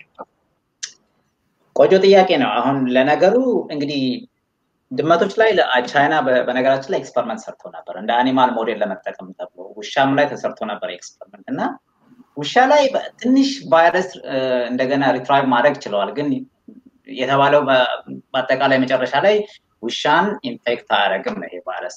ድመቶችን ግን ያደርጋል። ድመቶችን infect ያደርጋል። ግን ከድመት ወደ ሰው እስካሁን ተላልፈዋል ያ የታወቀ ነገር የለም። እዚህ I think pet ድመቶችም ኒውዮርክ አካባቢ እንዲሁም ነብር ላይም I think እዚህ ኒውዮርክ እንዳገኙ ታይቷል። እና ስለዚህ cat የ cat species የሆኑ አጠቃላይ እንግዲህ receptor ኡ ምናልባት ከኛ receptor ጋር ተመሳሳይ ሊሆን ይችላል። ቫይረሱ infect ማድረግ ችሏል። ግን የተያዘ አንዳንድ technical ችግር ይመስለኛል። እያነሳ የነበርኩት ጥያቄ ምንድን ነው? የመጀመሪያው የክትባት ሙከራ ዛሬ ኦክስፎርድ ላይ ተደርጎ ነበረ። በሰው ላይ ሙከራ ተደርጓል የሚል ጥያቄ ነው። እሱ ነጋ የሚል አንድ አድማጫችን ነው የጠየቀን እና ይሄ ነገር ምን ያህል ውጤታማ ነው? ምን ያህል ጊዜ ይወስዳል? ከዛ ጋር በተያያዘ ደግሞ ምን ያህል ምን አይነት እንትኖች አሉ መድኃኒቶች አሉ እንደሚሰሩ የተረጋገጡ ወይም ውጤታማ የሆኑ መድኃኒቶች ምን አሉ? እነዚህም ጥያቄዎች ስትመልስልን ነው እሺ ስለ መድኃኒቶቹ እንጀምር መጀመሪያ ላይ እና እሱን ጨርሰን መድኃኒት በአሁኑ ሰዓት የተረጋገጠ ወይንም ደግሞ በኤፍዲኤ እዚህ በአሜሪካ መንግስት ወይም ደግሞ በዩሮፕም ሆነ በሌሎች ሀገር ይሄ መድኃኒት ፍቱን ነው ተብሎ የታወቀና የተረጋገጠ የለም። ሆኖም ግን በጣም የተለያዩ መድኃኒቶች ሙከራ ላይ ናቸው እና እየተሞከሩ ካሉት መድኃኒቶች መካከል ቫይረሱን ሊገሉ የሚችሉ መድኃኒቶች ናቸው። አንዱ remdesivir የሚባል እዚህ አሜሪካ ውስጥ በ Gilead የሚባል company develop እየተደረገ ያለ ነው። እሱም ገና እንግዲህ በሽተኞች ላይ እየተሞከረ ነው። አንዳንድ እንግዲህ ምልክቶች አሉ። ምናልባትም ሊያድን ይችላል የሚል እንትን አለ። ባለፈው አንድ ሪፖርት ወጥቷል። ሆኖም ግን ማንኛውም እንግዲህ በሕክምና ሙያ ላይ ያለ ሰው እንደሚለው randomized control trial የሚባል አለ። በዛ ታይቶ እውነትም ያ መድኃኒት ከመድኃኒት ሰጥቶና ሳይሰጡ ያለው በሁለቱ መካከል ያለውን ለውጥ የሚያመጣ ከሆነ ወደፊት እናየዋለን። ከዛ ውጭ እንግዲህ ሌሎቹ በሙሉ ገና ሰው ላይ የተሞከሩ አይደለም፣ ግን በላቦራቶሪ ደረጃ ብዙ አሉ እየተሞከሩ ያሉ ቫይረሱን ሊገሉ የሚችሉ። እንግዲህ በሌላ መልኩ ደግሞ የምናየው መድኃኒት አሁን አብዛኛውን የያዘው ለማሌሪያ የምንሰጥ የነበረው ወይም ለወባ የምንሰጠው chloroquine የሚባል ከዛ ደግሞ የእሱ ጋር ተመሳሳይ የሆነ hydroxychloroquine የሚባል እና ሌሎችም አሉ። እነዚህ ሁለቱም እንግዲህ ለየብቻቸው እየተሞከሩ ነው። እስካሁን የታወቀ እንትን የለም። ግን እዚህ አሜሪካን NIH guideline አውጥቷል፣ comprehensive የሆነ guideline። እዛ guideline ላይ ለምሳሌ በፊት አንድ አነስ ያለች French study ያወጣችው ያው ያወጡበት እዛ study ላይ ምንድን የሚለው hydroxychloroquine እና azithromycin አንድ ላይ ብንሰጥ ያድናል ብለው ነበረ። ግን አሁን እሱን do not recommend አትስጡ ብለዋል። hydroxychloroquine እና chloroquine ግን ገና እየተሞከረ ነው። ስለዚህ ምንም ውሳኔ አልተሰጠበትም። እነዚህ ምንድን ነው የሚያደርጉት? የእኛ ሰውነት ላይ ቫይረሱ የሚገባበትን መንገድ እስከ መጨረሻው እንዳይሄድ መከላከል ነው። ያ ነው ዋናው ዓላማው። ስለዚህ በመድኃኒት ደረጃ እነዚህ ናቸው። እንግዲህ ሌሎች መድኃኒቶች መሰል የሚሆኑት antibody ነው። ይሄ antibody እንግዲህ hyper immunoglobulin የሚባል ነገር አለ። ተሞክሯል ከአሁን በፊት ሌሎቹ ላይ SARS ላይም ተሞክሯል፣ MERS ላይም ተሞክሯል። ግን ውጤታማ ሆኖ እስካሁን አልታየም። ስለዚህ እየሞከሩት ነው ገና። ከዛ በተረፈ እንግዲህ neutralizing antibody የሚባል ደግሞ አለ። ይሄ ምንድነው በ pharmaceutical company አዘጋጅተው የሚሰጡት ነው። እሱ እንግዲህ ገና ምርምር ደረጃ ወይም በላቦራቶሪ ደረጃ ነው። ወደ vaccine ስንመጣ ዛሬ actually WHO ሰባት ናቸው። ሰባት already phase one trial ላይ ተጀምሯል። እና እነዚህ trial ኦች ምንድን ነው ቫይረሱን inactivate በማድረግ በመግደል infectious እንዳይሆን በማድረግ ሌሎቹ ደግሞ DNA በ plasmid መልኩ እና ደግሞ አንዱ RNA እዚህ US የምናውቀው Moderna ከሚባል company ጋር NIH የሚያካሄደው እነዚህ በሙሉ ፈቃደኛ በሆኑ ሰዎች ላይ ነው። በሽተኞች ላይ አይደለም ገና phase one ነው። ስለዚህ ፈቃደኛ የሆኑ ሰዎች ላይ ምን አይነት እንከን ሊያመጣ ይችላል የሚል ነው እየሞከሩ ያሉት። ስለዚህ ይሄንን ሞክረው እንግዲህ አብዛኛው እንግዲህ የተስማሙበት ነገር ምንድን ነው? ይሄ ነገር ምንም ችግር የማያመጣ ከሆነ phase one phase two ን በተመሳሳይ ሁኔታ አንድ ላይ ማካሄድ ነው የሚፈልጉት ለማፋጠን። ምክንያቱም earliest possible ብለው እንግዲህ January 2021 ላይ እንዲደርስ ይፈልጋሉ effective የሆነውን እና ምክንያቱም second wave ያኔ ሊመጣ ይችላል ብለው ስለሚገምቱ ለዛ ነው ይሄዳል። ግን በጥቅሉ የ vaccine development ን ብናይ ወይም vaccine እንዴት እንትን እንደሚል ብናይ ከአምስት ዓመት እና ከዛ በላይ ነው የሚፈጀው። ይሄ በጣም በጣም በፍጥነት ነው እየተካሄደ ያለው። አስራ ስምንት ወር ብለው ነበረ፣ ግን አሁን በስምንት ወር even በስምንት ወር ውስጥ ለማድረስ ነው እንግዲህ የጀመሩት እና አሁን የቫክሲኑ ሁኔታ ገና እየተጀመረ ነው። ኢፌክት አለው የሚለውን ምንም የምናውቀው ነገር የለም። ገና አሁን ምን ችግር ያመጣውን የሚለው ላይ ነው ያሉት እና ይሄን ካወቅን በኋላ ነው እንግዲህ የሚሄደው። ይሄ የተወሰኑ ወራቶች ይፈጃል። ከዛ እንግዲህ በሽተኞች ላይ ይሞክራሉ ማለት ነው። ስለዚህ በአጭሩ በአሁኑ ሰዓት እንደሚሰራ የምናውቀው የተረጋገጠ መድኃኒት የለም። ክትባት ገና የመጀመሪያ ደረጃ ሙከራ ላይ ነው። ብዙ ደረጃዎች ይቀሩታል። ስለዚህ በወራት እና ምናልባት ከአመታትም ሊወስድ ስለሚችል የቀረን አማራጭ እስካሁን የተነገሩንን ነገሮች ይዞ መቀጠል ነው። እጅ መታጠብ፣ አካላዊ ርቀትን መጠበቅ፣ ወደ ውጭ በምንበት ጊዜ ሁልጊዜ የፊት ማስክ አድርጎ መቆየት። እነዚህ ነገሮች ክትባትን ቢመጣ መድኃኒትን ቢመጣ የሚቆዩ ነገሮች ናቸው እና ነገ ብዙ ሰው እንደሚጠብቀው ወይ ዛሬ ወይ ነገ የሆነ ነገር ሲመጣ ተመልሶ መጥቶ እንደፈለግን የምናደርግበት ጊዜ በቅርብ የሚመጣ አይደለም። ለተወሰነ ጊዜ ወይም የሆነ እንትን እስኪመጣ ድረስ የምንኖርበት አናኗር for good ተለውጧል እና መቀበል መቻል በቃ ከዚህ በኋላ የበፊቱ አይነት ነገሮች የሉም እና በቅርብ ርቀት ውስጥ የሚታይ ነገር ደግሞ ምንም የለም። I think እሱን የወሰድኩት message ከአንተ እንትን የለም እና ሌላው ደግሞ የኢንፍሉዌንዛን እንትንም መርሳት የለብንም። vaccine ኑ ቢገኝ ለምሳሌ ይሄ vaccine ሙሉ ለሙሉ like ኩፍኝን እንደሚከላከለው ይከላከላል ወይ ነው? አይመስለኝም። ምናልባትም እንደ ኢንፍሉዌንዛ የተወሰነ chance ይኖረዋል ሊከላከል፣ የተወሰነ ደግሞ ከነጭራሹም ላይከላከል ይችላል እና በየጊዜው ራሱን እየቀየረ ሊመጣ ይችላል ይሄ ቫይረስ እና vaccine ኑ ላይ ሁሌም dependent መሆን የለብንም። አንተ እንዳልከው እነዚህ መከላከያ መንገዶችን አጠናክረን መቀጠል አለብን። I think ኤዥያ ያሉትም ሀገሮች እሱን በማድረጋቸው ነው በጣም ዝቅ ማድረግ የቻለ ቁጥሩ። ምክንያቱም እነሱ ልምዱ አላቸው ከአሁን በፊት እና ያንን ነው ያደረጉት። በዛ መልኩ ማውረድ እና ዝቅ ማድረግ ችለው ነገር ሌላ ቅድስት ዝም አስባል ናት። እስካሁን እኛ ብቻ እያዳመጠች ነበር። ሁለት አንደኛ ይሄ እንደዚህ አይነት ወረርሽኞች ሲመጡ አንድ ጊዜ ብቻ አይደለም። የሆነ ቅድም ቴዲ ትንሽ mention አድርጓል፣ second wave ምናምን የሚባል ነገር አለ እና በተለይ ኢትዮጵያ ውስጥ ወይም ደግሞ እዚህም ሀገር አንዳንድ ለምሳሌ ኢኮኖሚውን ስለመክፈት ተመልሶ ስለመውጣት እየተወራ ስለሆነ ምን ማለት ነው? like ይሄ እነዚህ ነገሮች በእንትኑ ብታስረጅ ነው።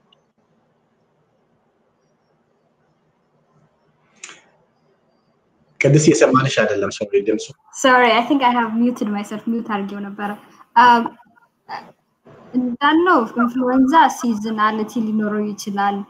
second wave አሁን ደግሞ immunity እስከሌለን ድረስ herd immunity እስከሌለን ድረስ we don't know how far this is going to go እና ቀድመን ከከፈትን ቢዝነሶቻችንን የ social distance measure ኡን ከተውን ከተዘናጋን እንደገና ይመለሳል። ምክንያቱም vaccine በሌለበት ሁሉም ሰው immunity develop ባላረገበት ሁኔታ ምንም ማስተማመኛ የለህም ተመልሶ እንደማይመጣ። እንዲያውም ስትዘናጋ የባሰ የበለጠ ኃይል ይዞ እንዳይመጣ መፍራት አለ።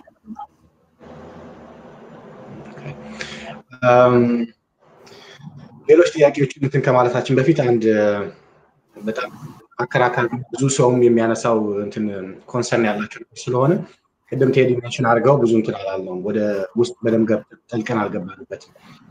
ኢትዮጵያ ውስጥ ወረርሽኙን ለመቆጣጠር lockdown ማድረግ ወይም ሰውን ከቤት እንዳትወጡ ስራ አቁሙ አይነት ነገር ማድረግ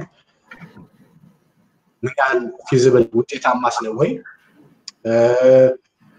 በምን መልኩ ነው እሱን ነገር የምናየው? እንግዲህ ይሄ ትንሽ debatable ነገር ወይም ደግሞ አከራካሪ ስለሆነ የሁላችሁንም አስተያየት እንትን እላለሁ። በቢ ከቅድስት ልጀምርና በሌ ከዛ ቴዲ ደግሞ ሰፋ ያለ መልስ ትሰጠናል። I think lockdown economically develop ለሆኑት ሀገሮች ሊሰራ ይችላል። እኛ ሀገር ጋር ስትመጣ ግን አብዛኛዎቻችን በቀን በቀን የምናደርገው ነገር ምግብ ራሱ በየቀኑ እየገዛን ነው የምንመገበው። ለአብዛኛው ህብረተሰብ ክፍል እንደ luxury ሊሆን ይችላል እና ፖሊሲ recommend ስታደርግ ህብረተሰብህንም ትንሽ ማገናዘብ ይኖርብናል። of course ይሰራል፣ social distancing ይሰራል።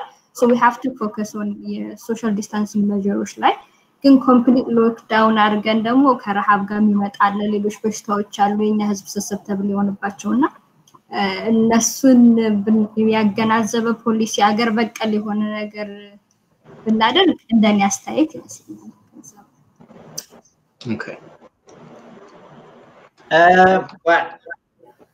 social I mean lockdown እንግዲህ ምንድን ነው የሆነ የራሴ የሆነ እንትን መኖር አለበት እኮ። lockdown ለማድረግ የበሽታው እንትን ምን ያክል ነው ነው? አሁን የኛ ዝቅተኛ ነው ባለን ሪፖርት ቁጥር ስለዚህ የምናምነው መንግስትም ምናልባትም የሚያምነው በጣም የከፋ ደረጃ ላይ እንዳልደረሰ እና ብዙም የእኛን socioeconomic እንትናችንን affect አያደርግም ወይም ደግሞ አይጎዳም በሚል ነው ማድረጉም በዚህ ሁኔታና ባለን ቅድስት እንደገለጸችው ባለን የ economical እና የ social context ያስኬዳል ወይ? እኔ በበኩሌ አያስኬድም ባይ ነኝ ግን አሁን እያደረጉ ያለውን በከፊል ሰራተኛ መቀነስ፣ social distancing ን ለማስፋፋት መቀጠል፣ ሰውን ማስተማር ሰውን በጣም እየደጋገሙ ማስተማር እና behavioral change ኡን እንዲያመጣ ማድረግ ነው ዋናው ስራ መሰራት ያለበት ይመስለኝ። ምክንያቱም ሰው በስነስርዓት የሚባሉትን እያደረጉ አይመስለኝም። ከማያቸው ፎቶዎች ከሚለጠፉ አንዳንድ ነገሮች ስታይ እንግዲህ website ኦች ላይ ትንሽ ያስደነግጣሉ እና እሱ እሱ ላይ መሰራት አለበት ነው የምለው። ቴዲ ጥያቄው ያው more ባለፈውም የተወሰነ ትመልሰው ነበር እና በደንብ አብረህ ትመልስልን። የብዙ ሰው ጥያቄ ስለሆነ ብዙ ሰዓት ስለቆየን ጊዜ ያለ አልመሰለኝም፣ ግን ሁለት ጊዜ ነው በደንብ ያልክኝና ከረዘመ አስቁመኝ። I think ባለፈውም እንዳወራ ነው ፓድካስቱ ላይ ሰው የ lockdown objective ህ ይወስነዋል። ለምንድን ነው lockdown የምታደርገው? ጊዜ ለመግዛት ከሆነ ኢትዮጵያ አራት አምስት ሳምንት አግኝታ ነበር። መጀመሪያ ላይ ግርግር ሲፈጠር ያው completely የዘጉ ሀገሮች አሉ። completely አንዳንዴ ከተማቸውን ብቻ ዋናውን ካፒታል ብቻ ይዘጉዋል። ጊዜ ለመግዛት ነው ለዝግጅቶች ማለት ነው። የጤና አገልግሎት፣ ትምህርት ምናምናም። አሁን ጊዜ አግኝተናል ሰማው ከዚህ በኋላ እሱ ያስፈልጋል ወይ? አላማ ይወስነዋል lockdown ለማድረግ። ሁለተኛ cluster ከተፈጠረ ኦሮሚያ ወይ ደቡብ ወይ ትግራይ somewhere cluster ከተፈጠረ ያንን አካባቢ ሙሉ በሙሉ lockdown ብታደርግ እንቅስቃሴ ሙሉ በሙሉ ብታስቆም ሊሰራ ይችላል። ሌላው impact ነው። lockdown ለማድረግ የማገኘው ጥቅም ከሚወጣው ወጪ ከሚደርስብን አደጋ እና ከሚደርስብን consequence የተሻለ ነው ብለህ ካሰብክም ልታደርግ ትችላል። ግን ቅድም ቤሌ እንዳነሳው ወይም ቅድስትም እንዳለችው heavy የሆነ ወይ moderate የሆነ social distancing physical distancing ጠንከር ያለ የማህበራዊ ቅርበትን ማስቆም አይነት እርምጃዎች ከተወሰዱ ከላይ እስከታች አዲስ አበባ ብቻ ሳይሆን እስከ ወረዳ ድረስ ጠንካራ የሆነ ትምህርት መስጠት enforce የተደረገ የተተገበረ የመንግስት ሰዎች በማህበረሰቡ በ civil society የተደገፈ ከተተገበረ ሙሉ በሙሉ ሰውን ማስቆም አስፈላጊ ላይሆን ይችላል። እዚህ አካባቢ አሁን ዛሬ አያስፈልግም፣ ግን ነገ ደግሞ ትንሽ case ሲመጣ አስር ሀያ ሰላሳ በቀን ሲመጣ ደግሞ lockdown ተብሎ ማወቅ አለብህ ግብህን። okay? ሙሉ በሙሉ የማስቆመው በቀን ይህን ያክል ቁጥር ሲደርስ ነው። ከአቅሜ በላይ ሲሆን ነው። ወይም ሞት ሞት አንድ ሁለት ሳምንት ወደኋላ ይቀራል አይደለ? ከኢንፌክሽን አይነት መሰለኝ። ካልተሳሳትኩኝ ሞትን በጣም ከጨመረ ያኔ ልትወስን ትችላለህ። ያንን ግብ ማስቀመጥ አለበት መንግስት። እዚህ ጋር ሲደርስ የዕለት average positivity ወደ lockdown ሄዳለሁ ብሎ። እሱ ነው። ግን ምንድነው? ያው እዚህ ሀገር assume የሚያደርጉት ነገር አለ። lockdown ሲያደርጉ prerequisite አንዳንድ economist ኦች ያው prerequisite መሟላት ያለበት ነገር ምንድን ነው? አንደኛ ውሃ፣ መብራት መኖር አለበት። ሰዎች ያለ ስራ ለረጅም ጊዜ ቤታቸው መቆየት መቻል አለባቸው። ያለው ማህበራዊ ግንኙነትም ሆነ ያለው ኢኮኖሚያዊ ሁኔታ ያንን የሚፈቅድ ሰዎች ከቤታቸው የሚሰሩበትን ሁኔታ የሚፈቅድ እንደዚ አይነት መሟላት ያለባቸው ቅድመ ሁኔታዎች አሉ ወይ ኢትዮጵያ ውስጥ? ምናልባት heavy የሆነ strict የሆነ social distance physical distancing መተግበር ከቻልክ ሁለቱም social ም physical ም distancing ነው actually አሁን አሁን አሁን just social ወይ physical መምረጥ የለብን ሁለቱንም መተግበር ከቻልን ምናልባት ልንቀንሰው እንችል ይሆናል። ዋና መነሻችን መቀነስ ከሆነ። ኢትዮጵያ ላይ ግን ያለው reality ቅድስት እንዳለችው በጣም urban ኢኮኖሚ የከተሞች አካባቢ ያለው ኢኮኖሚ በዕለት ተዕለት ገቢ ላይ የተመሰረተ ነው አብዛኛው። ያለው የውሃ የመብራት ሌሎች አቅርቦቶች ከቤት የግድ በየቀኑ እንድትወጣ ያደርግሃል። ለማግኘት need ን ፍላጎትን ለማሟላት እሱ ነው። ሌላ በቀደም የተወያየ ነው የ ethics የሞራል ጥያቄ ነው የተሻለ ገቢ ያለው ሰው የተሻለ ሁኔታ ላይ ያለ ሰው ይህንን መቋቋም ይችላል። ስለዚህ ሊጮህ ይችላል። ረ lockdown ብሎ ሊጮህ ይችላል።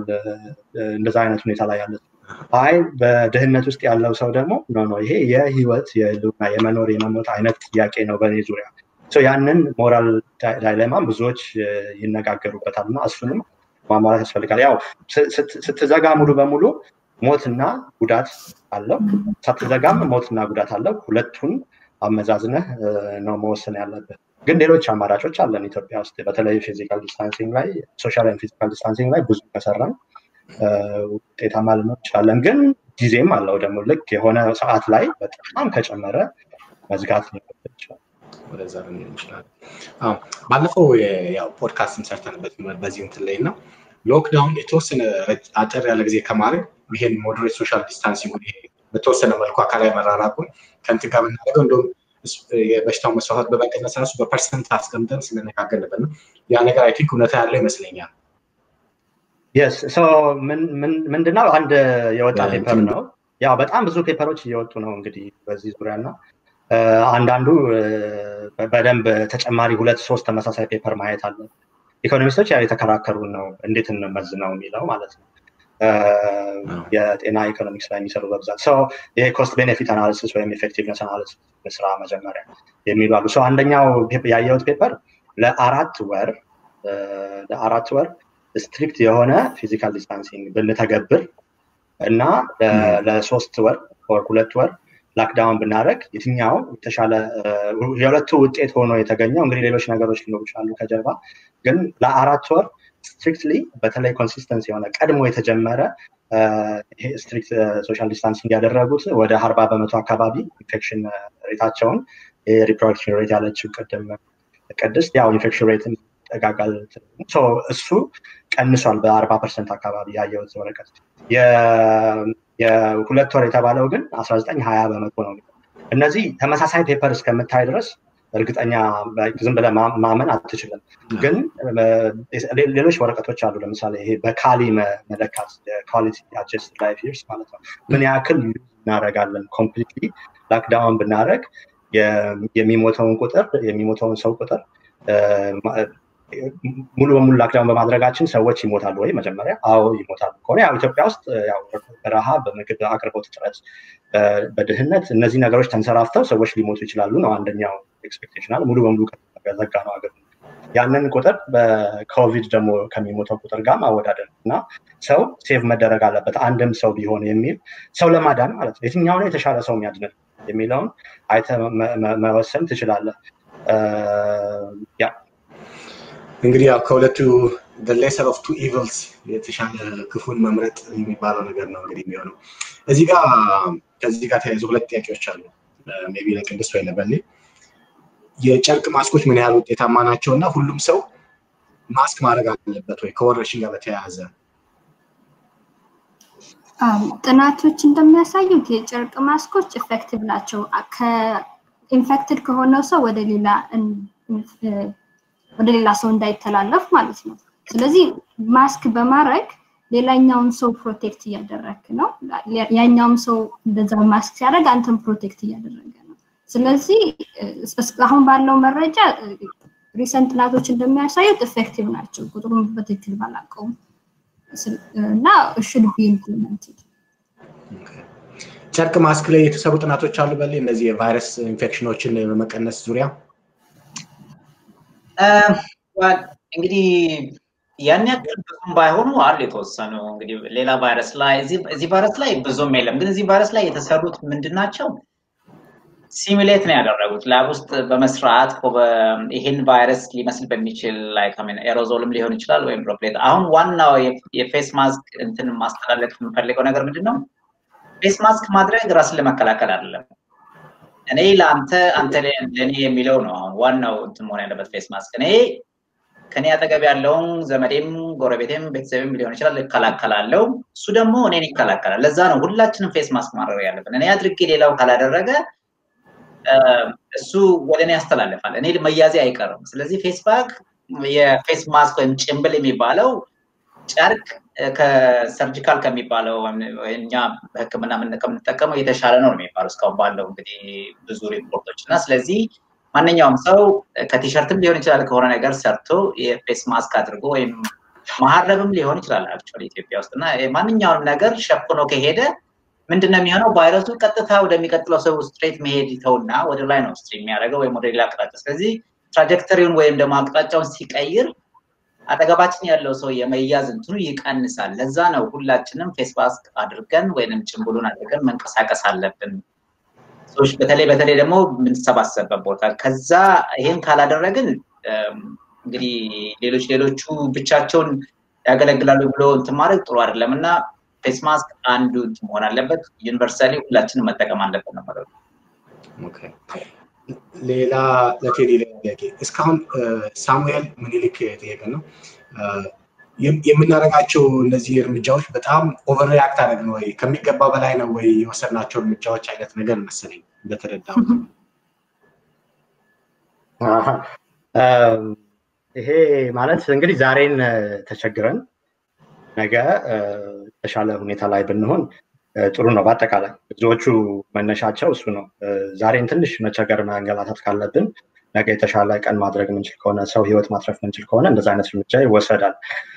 በኮቪድ ግን ብዙ ሰው የሚለው ያው ይሻላል በተቻለ መጠን over react ማድረጉ over react ሲባል እንግዲህ ዋጋ ማስከፈል የሰው ህይወት ላይ ዋጋ ማስከፈል የለበትም።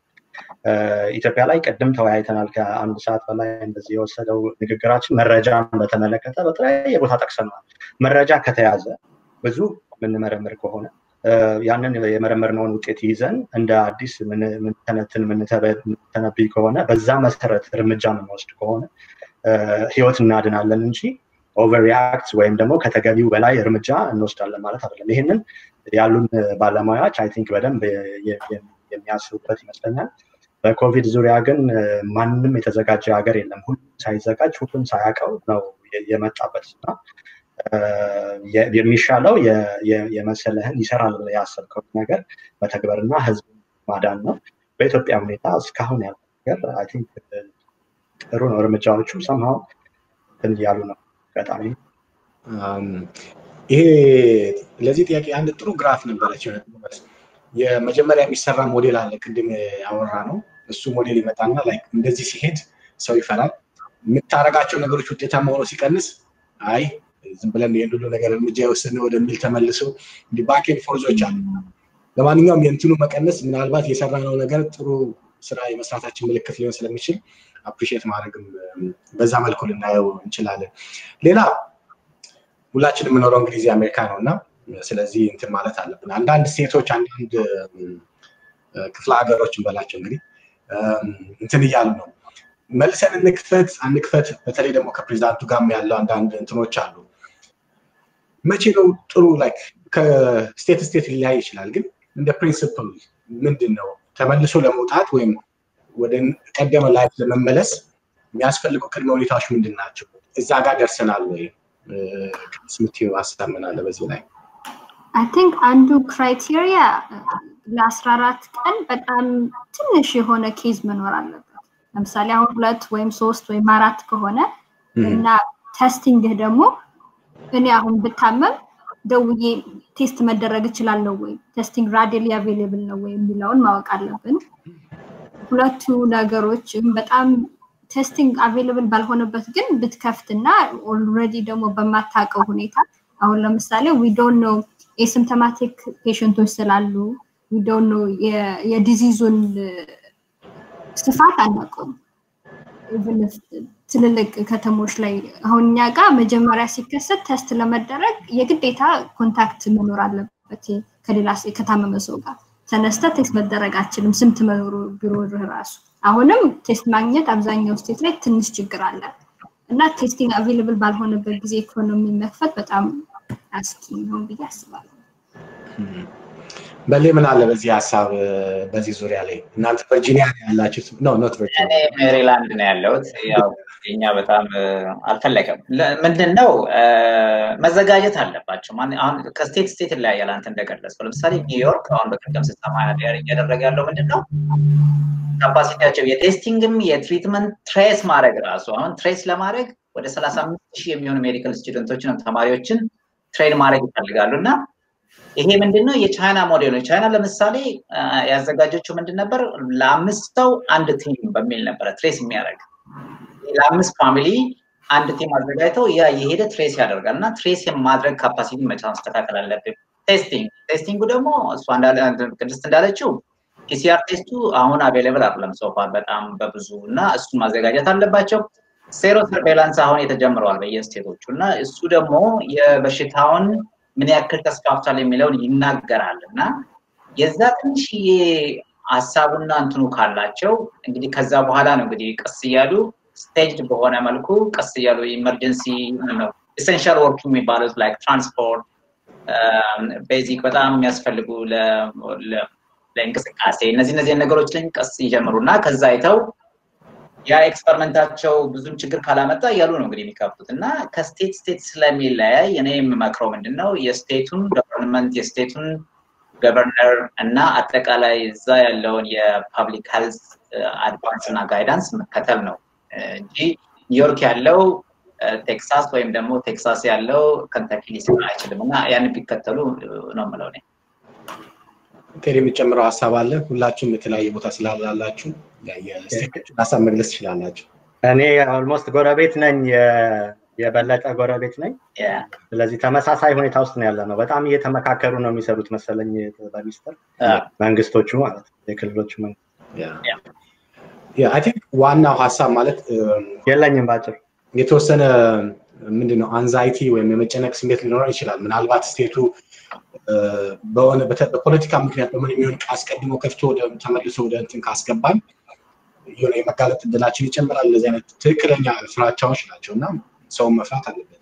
ግን ነው አሁን እሱ ላይ ምንድን ነው አሁን ለምሳሌ የኒውዮርኩ governor ሰምታችሁት ከሆነ public እንቅስቃሴ የሚያደርግ ሰው ማንኛውም face mask ማድረግ አለበት ብሏል። አሁን ለምሳሌ ይቀጣሉ ካላደረጉ። ስለዚህ አሁን የኛ ሰዎች ማድረግ ያለባቸው face mask ኡን ሁሌ ማድረግ፣ የእጃቸው መታጠቡን ሁሌ መቀጠል፣ ርቀታቸውን ጠብቀው መሄድ ሁለት ሜትር እና ከዛም በላይ የሚሆን እንትን የለው። ምክንያቱም ስ ላይ ኮንቴነም የቫይረሱ እንትን እንደዛ ነው እና ርቀታቸውን ጠብቀው ይህ እነዚህ እነዚህን ካደረጉ እነሱ የመያዝ እንትናቸው ይቀንሳል። ከዛ ደግሞ መውጣት ካለባቸው ቶሎ ሄደው የሚያደርጉትን አድርገው መምጣት ነው። ስራም ከሆነ ደግሞ ምናልባት መስሪያ ቤቶቹ የራሳቸው እንትን ስለሚኖራቸው እሱን ጋይዳንስ ተከትለው ስራቸውን መስራት ይችላሉ። ከዛ ውጭ ግን ምልህ አንዛይቲው ራሱ ሌላ በሽታ ነው የሚሆነው እና እሱ ላይ እንግዲህ ሐኪም ምክር ጋር ከጎረቤትም ከሁሉም ጋር እየተነጋገሩ ነገሮችን እንትን ማድረግ ይቻላል ነው የምለው። ያው ስለዚህ ስቴቱ ፖሊሲውን ቀየረ፣ ተከፈተም አልተከፈተም ሁልጊዜ የተባሉትን ነገሮች መቀጠል አለባቸው። ህይወት ድሮ ሁኔታ የሚመለስበት ጊዜ ገና በጣም ሩቅ ነው እና ይሄ ነገር የተባሉት ምክሮች ገቨርነሩ ስላመጣ ወይም ስላለ የሚቀየር ነገር ስላልሆነ ይሄንን ምክር ለሁልጊዜም በቅርብ ጊዜ ህይወት እንደ ቀድሞ ላይመለስ ስለሚችል ያን የተባሉትን ምክሮች መከተል ያስፈልጋል። ከዚህ ጋር በተያያዘ ሁለት ጥያቄዎች ነው የምጠይቀው። ወደ ቴዲ ነው የሚሄደው። አንደኛ እዚህም ሀገር ሆነ ኢትዮጵያ ውስጥ በጣም ሌሎች ተጓዳኝ ችግር ያለባቸው ሰዎች አሉ። ስኳር፣ ደም ግፊት ምናምን ያላቸው እነዚህ ሰዎች የዚህ ወረርሽኝ በመስፋፋቱ ምክንያት ወደ ሕክምና ተቋም አይመጡም። ችግራቸው ሊባባስ ይችላል። እነዚህን ተጓዳኝ ነገሮች እንዴት ነው መቀነስ የምንችለው? ምክንያቱም ይህ ወረርሽኝ በራሱ ቀጥታ ጉዳት ብቻ ሳይሆን ተያያዥ ጉዳቶች ያመጣል። አንድ እሱ። ሁለት በተለየ ሁኔታ ለምሳሌ ሴቶችና ህፃናት ለዚህ በጣም የተጋለጡ ናቸው ለጉዳት። ምክንያቱም ወደ ህክምና ተቋም መሄድ ካልቻሉ ሌሎች ሌሎች ነገሮችም አቅርቦታቸው ቀንሷል እና በብዙ መልኩ ለእንትን ሊጋለጡ ይችላሉ እና እነዚህ ሁለት ነገሮች እንዴት ነው ተጓዳኝ ጉዳቱን እንዴት ነው መቀነስ የምንችለው? yeah ይሄ I think ይሄ በጣም አስፈላጊ ነገር ነው። እችን ሁለት ቀንም አይታችሁ ይሆናል በ social media ኢትዮጵያ ላይ አንዳንድ incident ኦች ተፈጥረዋል፣ አንዳንድ ነገሮች ተፈጥረዋል አይደለ? የህክምና አገልግሎትን በተመለከተ ያው ወዳጆች ጽፈው አይቻለሁ እኔ። አሁን በዛ ምክንያት ጤና ጥበቃ ዛሬ መግለጫ ሰጥቷል። ከኮቪድ ውጭ ያሉ አገልግሎቶች በሙሉ እንደ በፊቱ በተለይ የተወሰኑ ከፍተኛ ፍላጎት ያለበት እና ብዙ ሰው የሚጠቃበት አይነት ህመሞች ለሞት የሚዳርጉቱ በተለይ እናቶችና ህጻናት ላይ የተላላፊ በሽታዎች ላይ እና ተላላፊ ያልሆኑ በሽታዎች ላይ የሚሰጠው አገልግሎት በትኩረት እንደሚቀጥል ህሙማንም ደግሞ ወደ ጤና ተቋም የመሄድ ሁኔታቸው እየቀነሰ ነው እና ያንን የማስተማር ማነቃቃት እኛ ላይ እንግዲህ ኢትዮጵያ ውስጥ ሰው በተፈጥሮ ራሱ ቤት ሆኖ ቢታከም ይመርጣል አይደለ? የተለመደ ነገር ነው። በተሻለ መጠን እስከሚበስበት አይሄድም እና እዚህ ላይ ደግሞ ጭራሽ አንድ የማያውቁት አዲስ ወረርሽኝ ተጨምሮበት ከቤታቸው አይወጡም እና ደግሞ ብዙ ናቸው ተጋላጮች። ኢትዮጵያ ውስጥ ወደ ሰባት መቶ ሺህ የሚጠጋ የኤች አይቪ ቫይረስ ያለ ሰው አለ። መድኃኒት የሚወስድ መድኃኒታቸውን refill ማድረግ አለባቸው። በፍጹም መቋረጥ የለበትም። የቲቢ ህክምናም እንደዛው ህጻናቶች የምግብ እጥረት ያለባቸው ህጻናቶች አሉ።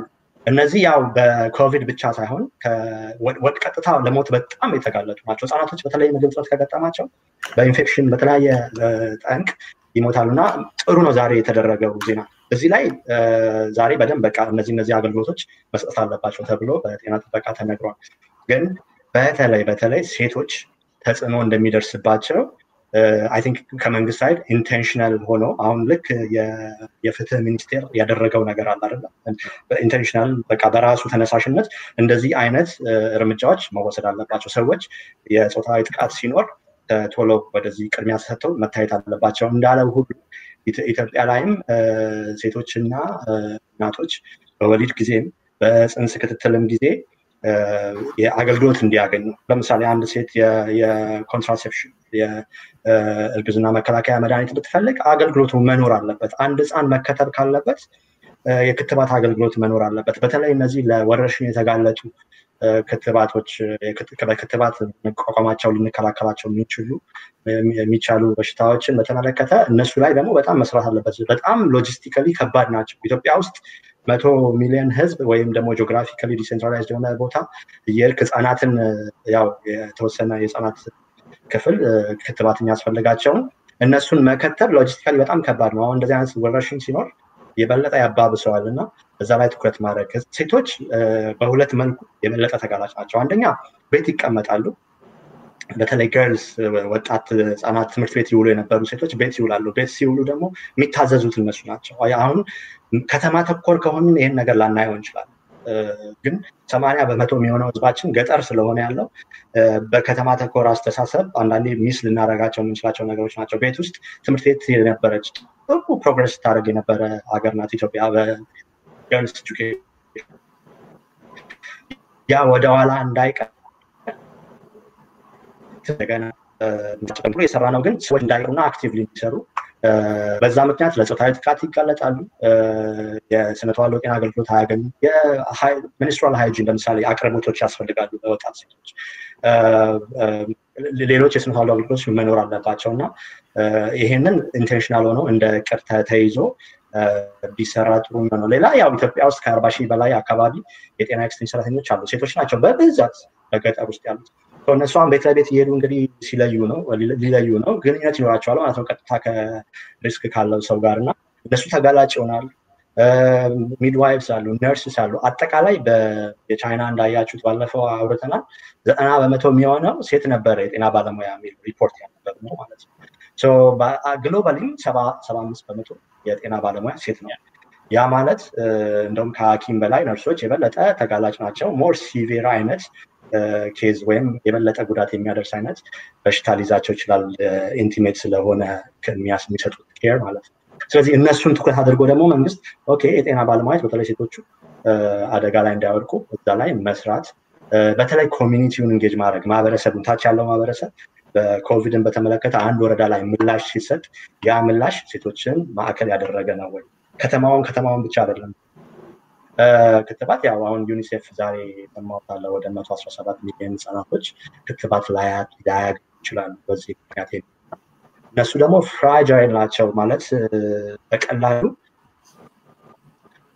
ህጻናቶች የአምስተኛ ዓመት ልደታቸውን ሳያከብሩ ሞቱ ሊሆን ይችላል። ኢትዮጵያ ደግሞ በዚህ ስራ ጥሩ የሰራች ስለሆነች ወደኋላ እንዳይመለስ setting power በማድረግም child mortality በመቀነስ ብዙ የሰራች ስለሆነች ያንን intentional ሆኖ መስራቱ success ኣችንን የበለጠ ያጎላል። ዛሬ በጣም ደስ ያለኝ ጠዋት ዶክተር ደረጀ መግለጫ ሲሰጥ አይቼ የ non ኮቪድ ህክምናዎችም ትኩረት እንደሚያገኙ ጥሩ ነው። በጣም ጥሩ።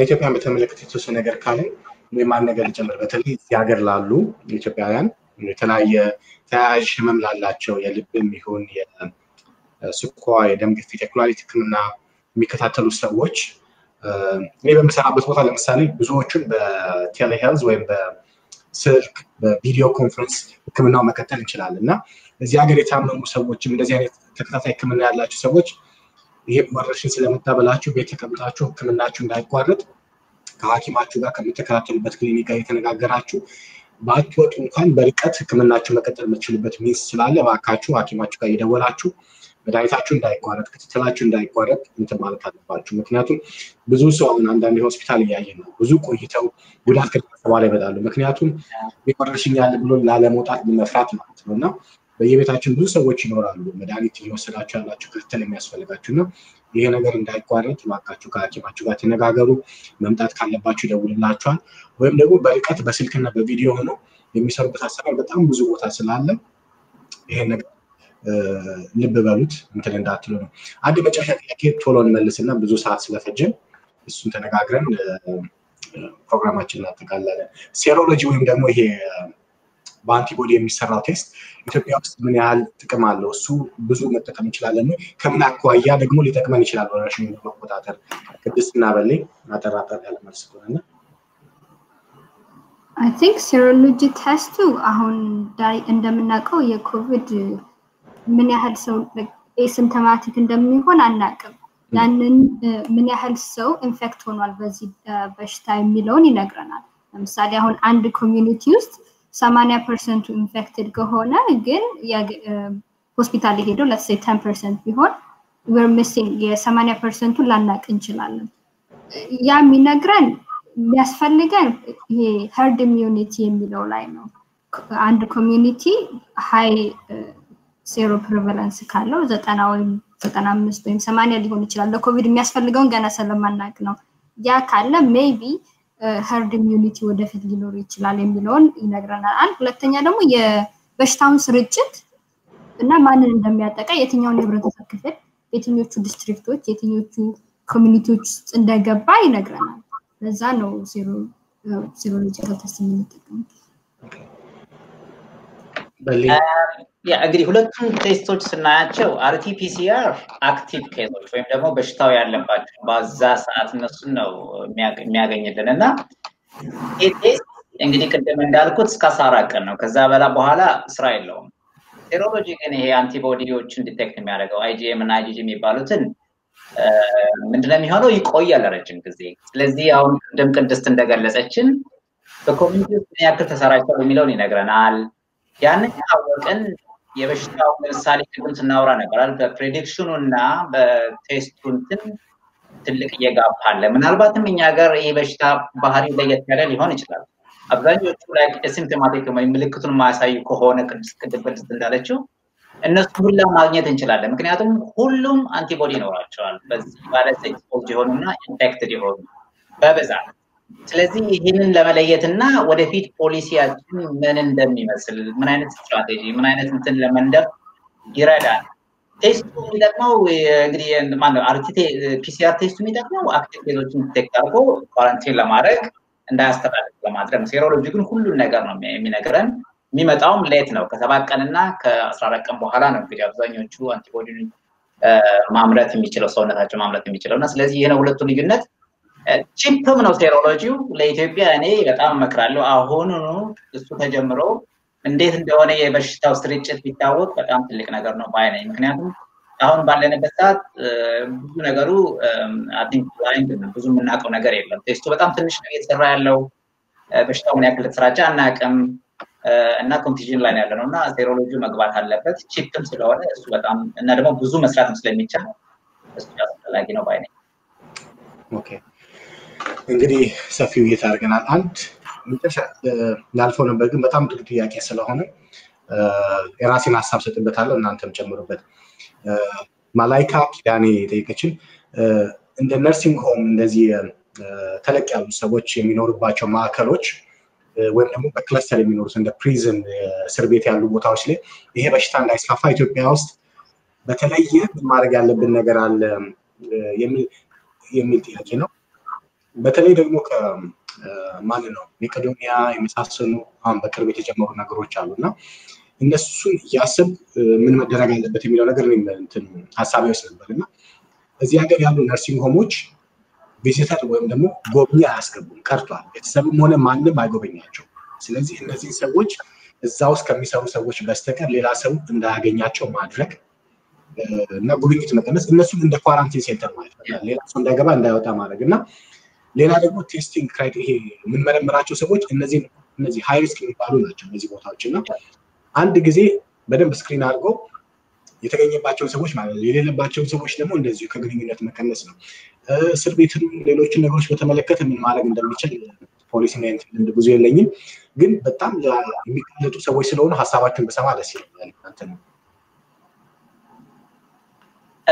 እኔ ልጀምር፣ እነሱ ይቀጥሉ ያጠቃሉበት። እኔ አንተ እንዳልከው ምንድን ነው እነዚህ ለአረጋውያን የምናስቀምጥባቸው ቤቶች ወይም ስፍራዎች አንተ እንዳልከው ከውጭ የሚመጣውን መከላከል ነው ያለብን። በቃ እነሱ እስካሁን ምንም ካልገባባቸው ከውጭ ማንኛውም ሰው እነሱን ሊያገለግል የሚመጣው ሰው ራሱ test መደረግ አለበት ነው የምለው እና በተቻለ መጠን የተለየ ቦታ ተቀምጠው ልክ ሐኪሞቹ እንደምናስቀምጣቸው የሆነ ቦታ አሁን ሆቴል ምናምን እነዛም ሰዎች ወይ እዛው መቆየት አለባቸው፣ ከሌላ ሰው ጋር ግንኙነት መኖር የለበትም።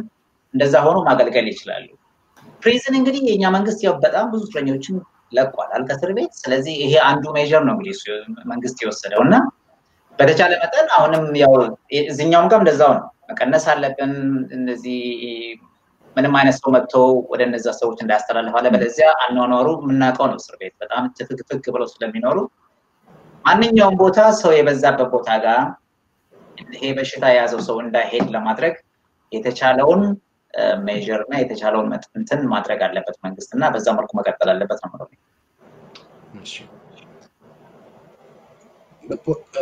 okay ብዙዎቹን ነገሮች እንግዲህ አንስተው አይተናል።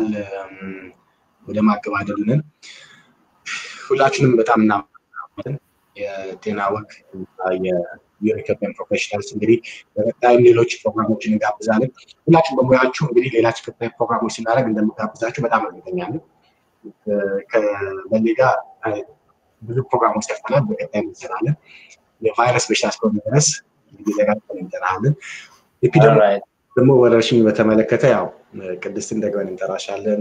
ፖሊሲዎች ላይ እኔ ጆሮ በጣም ሰምቼ ያዳመጥኩት የሚላቸውን ነገሮች ብዙ ብዙ ጥሩ ነገሮች ነው ያነሳነው እና ለሰውም ጠቃሚ ነው። ከመንግስትም ከሌሎችም ሰዎች ጋር ተቀራርበን መስራት የምንችልባቸው ነገሮች ስለሆኑ የሁላችሁም expertise እና ልምድ ሙያ በጣም በጣም ይፈልጋል። ሰው መስማቱ በጣም ደስ ብሎኛል። መጨረሻ ላይ ሁሌም ሰው እንዳይረሳው መደረግ ያለባቸውን ነገሮች ተናገራቸው እና ያው በዚህ እንሰናበታለን። እኔ ልጀምር። ስለዚህ ርቀታችንን እንጠብቅ፣ እጃችን ሁሌ ከመታጠብ ወደኋላ እንበል። በተቻለ መጠን face mask ከቤት ከሚሰሩ ነገሮች ከቲሸርትም ሊሆን ይችላል ከማንኛውም ነገር እዚህም ላሉት ኢትዮጵያም ላሉት ወገኖቻችን እሱ መጠበቅ አለባቸው። ሁሌ እያስታወሱ ፊታቸውን አፍንጫቸውን ላለመንካት ሌላ ሰው ካዩ ራሱ face mask ሳያደርግ ሌላ ነገር ሳያደርግ ካዩ መናገር መቻል አለባቸው። ይሄን አላደረክም እና ይሄ ይሄን ባለማድረግህ እኔን ታማሚ ልታደርገኝ ትችላለህ፣ እኔ እኮ ለአንተ ነው ይሄን ያደረግኩት ብለው መናገር መቻል አለባቸው እና እርስ በርስ እየተነጋገርን እየተደጋገፍን ይሄ በሽታ የሆነ ሰዓት ላይ መጥፋቱና መቀነሱ ስለማይቀር ካልቀነሰም ቫክሲን መገኘቱ ስለማይቀር ወደ እንግዲህ ሊረዳ የሚችል በዛ መልኩ ለጊዜውም ቢሆን ራሳችንን መጠበቅ መቻል አለብን። ማንኛውንም ተጓዳኝ ነገር አስከትሎ ከመጣ ሐኪምን ማማከር፣ የጤና ባለሙያን ማማከር የመሳሰሉትን ሌላም ሐኪም ባይሆን ሌላም ባለሙያም ባይሆን ማማከር እና መነጋገር በጣም ወሳኝ ስለሆነ ይህን መቀጠል መቻል አለብን ነው የምለው።